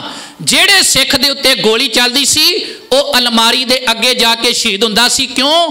ਉਸ ਅਲਮਾਰੀ 'ਚੋਂ ਛੋਟਾ ਜਿਹਾ ਬੱਚਾ ਦਰਬਾਰਾ ਸਿੰਘ ਬੰਦ ਸੀ ਤੇ ਸਿੱਖ ਚਾਹੁੰਦੇ ਸੀ, ਅਸੀਂ ਭਾਵੇਂ ਸ਼ਹੀਦ ਹੋ ਜਾਈਏ, ਪਰ ਸਾਡੀ ਕੌਮ ਦਾ ਇਹ ਵਾਰਸ ਬਚਣਾ ਚਾਹੀਦਾ, ਬੱਚਾ ਬਚਣਾ ਚਾਹੀਦਾ ਜਦੋਂ ਇਹਨਾਂ ਜ਼ਾਲਮਾਂ ਨੇ ਗੋਲੀਆਂ ਮਾਰੀਆਂ, ਅੱਜ ਦੇ ਦਿਨ ਗੁਰੂ ਗ੍ਰੰਥ ਸਾਹਿਬ ਦੀ ਬੀੜ 415 ਤੋਂ ਲੈ ਕੇ 625 ਅੰਗ ਤੱਕ ਇਸ ਗੁਰੂ ਗ੍ਰੰਥ ਸਾਹਿਬ ਦੀ ਬੀੜ ਵਿੱਚ ਵੀ ਇਹਨਾਂ ਲੋਕਾਂ ਨੇ ਗੋਲੀਆਂ ਮਾਰੀਆਂ। ਤਾਬਿਆ ਬੈਠੇ ਸਿੰਘਾਂ ਨੂੰ ਸ਼ਹੀਦ ਕੀਤਾ ਗਿਆ ਤੇ ਉਹਨਾਂ ਲੋਕਾਂ ਨੇ ਵੇਖਿਆ ਅਲਮਾਰੀ ਦੇ ਅੰਦਰ ਕੀ? ਅਲਮਾਰੀ ਖੋਲੀ, ਜਿੱਥੇ ਜਾ ਕੇ ਸਿੰਘ ਸ਼ਹੀਦ ਹੋ ਰਹੇ ਨੇ। ਜਦੋਂ ਖੋਲਿਆ, ਵੇਖਿਆ ਅੰਦਰ ਬੱਚਾ ਹੈ। ਉਸ ਬੱਚੇ ਨੂੰ ਵੀ ਬਲਦੀ ਹੋਈ ਭੱਠੀ 'ਚ ਸਿੱਟ ਕੇ ਸ਼ਹੀਦ ਕੀਤਾ। ਗੁਰੂ ਕੀ ਸਾਧ ਸੰਗਤ ਐਡਾ ਵੱਡਾ ਨੁਕਸਾਨ ਵੀ 200 ਸਿੰਘਾਂ ਨੇ ਸ਼ਹਾਦਤ ਦਾ ਜਾਮ ਪ੍ਰਾਪਤ ਕਰਕੇ ਨਨਕਾਣਾ ਸਾਹਿਬ ਦੀ ਮਰਿਆਦਾ ਨੂੰ ਮੁੜ ਬਹਾਲ ਕਰਵਾਇਆ। ਜਦੋਂ ਸਿੰਘਾਂ ਨੂੰ ਪਤਾ ਲੱਗਾ ਜੀ, ਦੋ ਸਿੰਘ ਜਿਨ੍ਹਾਂ ਜ਼ਿੰਮੇਵਾਰੀ ਲਈ ਸੀ ਪੰਥ ਦੇ ਕੋਲੋਂ, ਕਿ ਅਸੀਂ ਲక్ష్మణ ਸਿੰਘ ਨੂੰ ਅੱਗੇ ਨਹੀਂ ਵਧਣ ਦਵਾਂਗੇ। ਇਹ ਬੈਠੇ ਨੇ ਨਨਕਾਣਾ ਸਾਹਿਬ ਦੇ ਕੋਲ ਇੱਕ ਕਾਰਖਾਨਾ ਸੀ ਸਰਦਾਰ ਹੁਕਮ ਸਿੰਘ ਦਾ। ਜਦੋਂ ਇਹਨਾਂ ਦੇ ਕੰਨਾਂ 'ਚ ਗੋਲੀ ਦੀ ਆਵਾਜ਼ ਪਈ ਤੇ ਭਾਈ ਦਲੀਪ ਸਿੰਘ ਵਰਿਆਮ ਸਿੰਘ ਨੂੰ ਕਹਿਣ ਲੱਗਾ, ਕਹਿੰਦਾ, ਭਾਈ ਸਾਹਿਬ, ਜ਼ਿੰਮੇਵਾਰੀ ਆਪਾਂ ਲਈ ਹੈ। ਜੇ ਆਪਾਂ ਬਚ ਗਏ ਤੇ ਲక్ష్మణ ਸਿੰਘ ਹਣੀ ਸ਼ਹੀਦ ਹੋ ਗਏ। ਕੌਮ ਤਾਨੇ ਮਾਰੇਗੀ ਕਿ ਵੇਖੋ ਇਹਨਾਂ ਜ਼ਿੰਮੇਵਾਰੀ ਲਈ ਸੀ ਕਿ ਅਸੀਂ ਨਹੀਂ ਜਾਣ ਦਵਾਂਗੇ ਜਥੇ ਨੂੰ। ਅੱਜ ਇਹਨਾਂ ਕੌਮ ਦਾ ਨੁਕਸਾਨ ਕਰਾ ਦਿੱਤਾ ਤੇ ਆਪ ਚੰਗੇ ਭਲੇ ਬੈਠੇ ਨੇ। ਵੇਖਿਓ ਸਾਡੇ ਬਜ਼ੁਰਗ ਅਕਾਲੀਆਂ ਦਾ ਜੀਵਨ। ਦੋਵੇਂ ਭਰਾ ਕਹਿੰਦੇ, ਫਿਰ ਕੀ ਕਰਨਾ ਚਾਹੀਦਾ ਹੈ? ਕਹਿੰਦਾ ਸਾਹਮਣੇ ਗੋਲੀਆਂ ਚੱਲਦੀਆਂ ਪਈਆਂ ਨੇ, ਕਰਨਾ ਕੀ ਹੈ? ਜੇ ਆਪਣੇ ਉੱਤੋਂ ਇਸ ਬਲੇਮ ਨੂੰ ਲਾਉਣਾ ਚਾਹੁੰਦੇ ਆ, ਤੇ ਚਲੋ ਆਪਣੇ ਭਰਾਵਾਂ ਨਾਲ ਨਨਕਾਣਾ ਸਾਹਿਬ ਦੀ ਧਰਤੀ ਤੇ ਆਪਾਂ ਵੀ ਜੂਝ ਕੇ ਸ਼ਹਾਦਤ ਦਾ ਜਾਮ ਪ੍ਰਾਪਤ ਕਰ ਜਾਈਏ।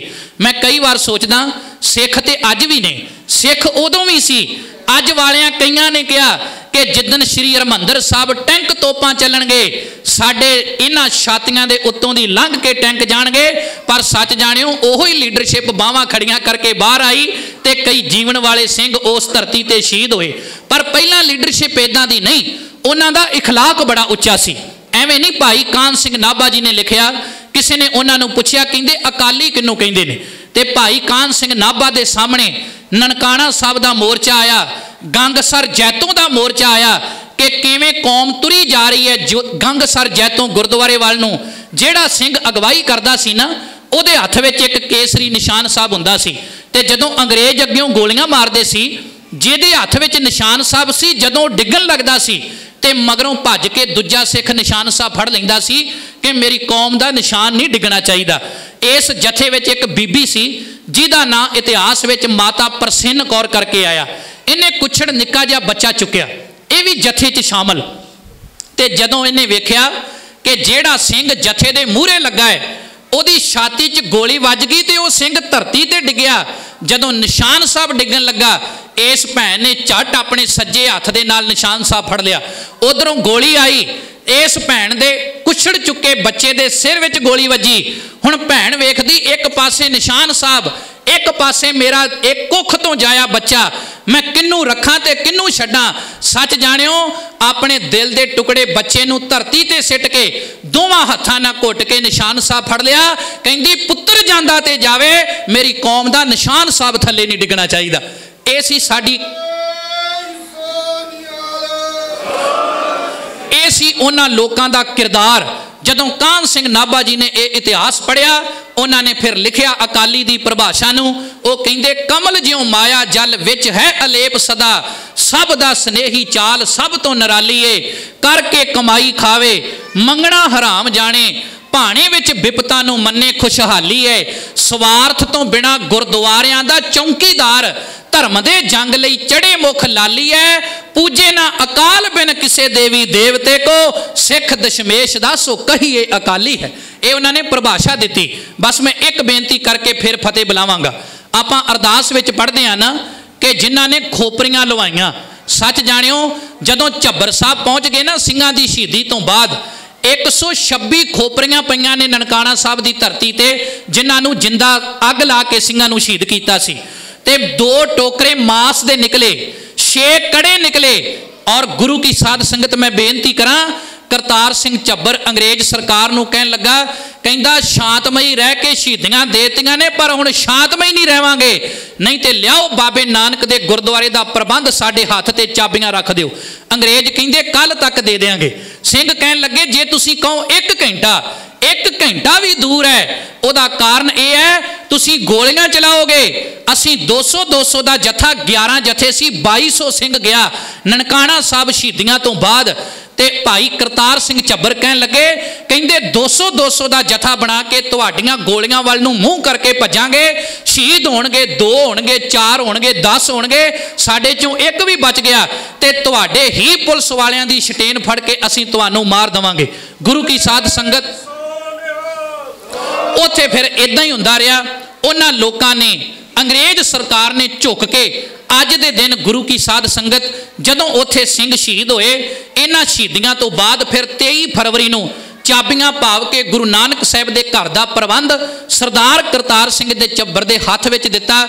ਜਦੋਂ ਖੋਪੜੀਆਂ ਇੱਕ ਥਾਂ ਤੇ ਰੱਖ ਕੇ ਸਿੰਘਾਂ ਦਾ ਸੰਸਕਾਰ ਹੋਣ ਲੱਗਾ ਨਾ, ਤੇ ਝੱਬਰ ਸਾਹਿਬ ਕਹਿਣ ਲੱਗੇ, ਇੱਕ ਦਿਨ ਸੰਸਕਾਰ ਡਿਲੇ ਕਰ ਦਿਓ। ਕਹਿੰਦੇ, ਜੀ, ਡਿਲੇ ਕਿਉਂ ਕੀਤਾ ਜਾਵੇ? ਤੇ ਕਹਿੰਦੇ, ਆਪਾਂ ਅਰਦਾਸ ਵਿੱਚ ਪੜ੍ਹਦੇ ਆਂ, ਜਿਨ੍ਹਾਂ ਨੇ ਖੋਪੜੀਆਂ ਲਵਾਈਆਂ, ਕਿਤੇ ਦੁਨੀਆ ਦਾ ਕੋਈ ਇਹੋ ਜਿਹਾ ਮਨੁੱਖ ਉਹ ਇਹ ਨਾ ਕਹਿ ਦਵੇ ਵੀ 17ਵੀਂ 18ਵੀਂ ਸਦੀ ਦਾ ਇਤਿਹਾਸ ਕਿੰਨੇ ਵੇਖਿਆ ਹੈ?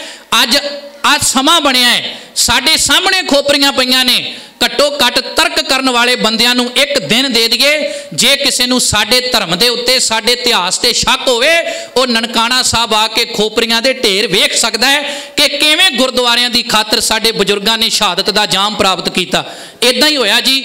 ਇੱਕ ਦਿਨ ਖੋਪਰੀਆਂ ਪਈਆਂ ਰਹੀਆਂ। ਤੇ ਅਗਲੇ ਦਿਨ ਅੰਤਮ ਸੰਸਕਾਰ ਹੋਇਆ ਗੁਰੂ ਕੀ ਸਾਧ ਸੰਗਤ 23 ਫਰਵਰੀ ਸਨ 1921 ਨੂੰ ਔਰ ਸਾਡੀ ਕੌਮ ਦੇ ਉਹ ਬਜ਼ੁਰਗ ਇਹੋ ਜਿਹੇ ਮਾਨ ਪੂਰਨੇ ਪਾ ਕੇ ਗਏ ਕਿ ਰਹਿੰਦੀ ਦੁਨੀਆ ਤੱਕ ਗੁਰੂ ਘਰਾਂ ਦੇ ਅੰਦਰੋਂ ਜਿਹੜੀ ਆਵਾਜ਼ ਆਉਂਦੀ ਹੈ, ਰਾਜ ਕਰੇਗਾ ਖਾਲਸਾ, ਆਕੀ ਰਹੇ ਨਾ ਕੋਏ। ਗੁਰੂ ਕੀ ਸਾਧ ਸੰਗਤ ਇਹਨਾਂ ਬਚਨਾਂ ਤੇ ਪਹਿਰਾ ਦਿੰਦਿਆਂ ਹੋਇਆਂ ਗੁਰਧਾਮਾਂ ਦੀ ਇੱਜ਼ਤ ਆਬਰੂ ਦੀ ਖਾਤਰ ਅੱਜ ਦੇ ਦਿਨ ਸਾਡੇ ਉਹ ਕੌਮੀ ਪਰਵਾਨੇ ਸ਼ਹੀਦ ਹੋਏ। ਸਾਕਾ ਬੜਾ ਲੰਬੇਰਾ ਹੈ। ਇਹਦੇ ਚ ਘਟਨਾਵਾਂ ਬੜੀਆਂ ਜ਼ਬਰਦਸਤ ਨੇ। ਪਰ ਸਮਾਂ ਮੇਰਾ ਸਮਾਪਤ ਹੈ। ਇਸ ਕਰਕੇ ਮੈਂ ਅਗਾਹ ਨਹੀਂ ਜਾਣਾ ਚਾਹੁੰਦਾ। 2-4 ਮਿੰਟ ਉੱਤੇ ਵੀ ਹੋ ਗਏ ਨੇ। ਮੈਂ ਭਾਈ ਸਾਹਿਬ ਦੇ ਜਥੇ ਪਾਸੋਂ ਹੱਥ ਜੋੜ ਕੇ ਖਿਮਾ ਵੀ ਮੰਗਦਾ। ਪ੍ਰਬੰਧਕ ਵੀਰਾਂ ਦਾ ਬਹੁਤ-ਬਹੁਤ ਧੰਨਵਾਦ, ਜਿਨ੍ਹਾਂ ਨੇ ਗੁਰੂ ਕੀ ਸੰਗਤ ਨੇ ਬੜੇ ਪਿਆਰ ਸਤਿਕਾਰ ਨਾਲ ਬੈਠ ਕੇ ਅੱਜ ਦੇ ਦਿਨ ਦਾ ਇਤਿਹਾਸ ਸਰਵਣ ਕੀਤਾ ਹੈ। ਕੋਸ਼ਿਸ਼ ਕਰਾਂਗਾ ਕੱਲ ਨੂੰ ਜਿਹੜੇ ਦੋ ਦੀਵਾਨ ਨੇ, ਇਹਦੇ ਵਿੱਚ ਗੁਰੂ ਘਰ ਦੀਆਂ ਹੋਰ ਇਦਾਂ ਦੀਆਂ ਕੁਝ ਇਹੋ ਜੀਆਂ ਸਾਖੀਆਂ, ਇਹੋ ਜਿਹਾ ਇਤਿਹਾਸ ਗੁਰੂ ਕੀ ਬਾਣੀ ਤੁਹਾਡੇ ਨਾਲ ਸਾਂਝੀ ਕਰ ਸਕਾਂ ਕਿ ਸਾਡਾ ਇਹ ਜਿਹੜਾ ਸਮਾਗਮ ਹੈ, ਇਹ ਕੀਤਾ ਹੋਇਆ ਵੀ ਸਫਲਾ ਹੋ ਜਾਵੇ। ਭੁੱਲ ਚੁੱਕ ਦੀ ਖਿਮਾ ਤੁਹਾਡਾ ਸਾਰਿਆਂ ਦਾ ਧੰਨਵਾਦ। ਗਿਆਨੀ ਸਰਬਜੀਤ ਸਿੰਘ ਜੀ ਉਹਨਾਂ ਦਾ ਧੰਨਵਾਦ, ਜਿਨ੍ਹਾਂ ਨੇ ਆਪ ਸੰਗਤਾਂ ਦੇ ਦਰਸ਼ਨ ਦਿਦਾਰੇ ਕਰਵਾਏ ਨੇ। ਕਿਉਂਕਿ ਮੈਂ ਬੀਤੀ 3 ਤਰੀਕ ਨੂੰ ਮੰਜੀ ਸਾਹਿਬ ਕਥਾ ਕੀਤੀ ਸੀ ਤੇ ਥੋੜੇ ਦਿਨ ਬਾਅਦ ਹੀ ਮੈਨੂੰ ਭਾਈ ਸਾਹਿਬ ਕਹਿਣ ਲੱਗੇ ਵੀ ਆਹ ਕਹਾਣੀ ਵਾਪਰ ਗਈ ਹੈ। ਮੈਂ ਕਿਹਾ ਜੀ, ਮੇਰਾ ਪ੍ਰੋਗਰਾਮ ਹੈ ਕਿਤੇ ਬਾਹਰ। ਕਹਿਣ ਲੱਗੇ, ਤੁਸੀਂ ਉੱਥੇ ਜਾਣਾ ਹੈ ਬ੍ਰਿਜ ਰਾਜ ਨਗਰ ਤੇ ਮੈਂ ਤੁਹਾਡਾ ਜਿਹੜਾ ਪ੍ਰੋਗਰਾਮ ਇਹਦਾ ਕੋਈ ਹੋਰ ਪ੍ਰਬੰਧ ਕਰ ਦਿਆਂਗਾ। ਸੋ ਮੇਰੀ ਜਗ੍ਹਾ ਤੇ ਉਹਨਾਂ ਨੇ ਕੋਈ ਹੋਰ ਸਿੰਘ ਭੇਜ ਕੇ ਤੇ ਮੈਨੂੰ ਤੁਹਾਡੇ ਦਰਸ਼ਨ ਕਰਾਏ ਨੇ। ਕੱਲ ਦੇ ਦੋ ਦੀਵਾਨ ਬਾਕੀ ਨੇ ਇਦਾਂ ਹੀ ਵੱਧ ਚੜ ਕੇ ਸ਼ਮੂਲੀਅਤ ਕਰਿਓ। ਆਪਾਂ ਗੁਰੂ ਕਾ ਇਤਿਹਾਸ ਪਿਆਰ ਨਾਲ ਬੈਠ ਕੇ ਸਰਵਣ ਕਰਾਂਗੇ। ਸਾਰੀ ਸੰਗਤ ਦਾ ਕੋਟਨ ਕੋਟ ਧੰਨਵਾਦ। ਪੁੱਲ ਚੁੱਕ ਦੀ ਖਿਮਾ, ਗੱਜ ਕੇ ਫਤਿਹ ਬੁਲਾਓ ਜੀ। ਵਾਹਿਗੁਰੂ ਜੀ ਕਾ ਖਾਲਸਾ, ਵਾਹਿਗੁਰੂ ਜੀ ਕੀ ਫਤਿਹ।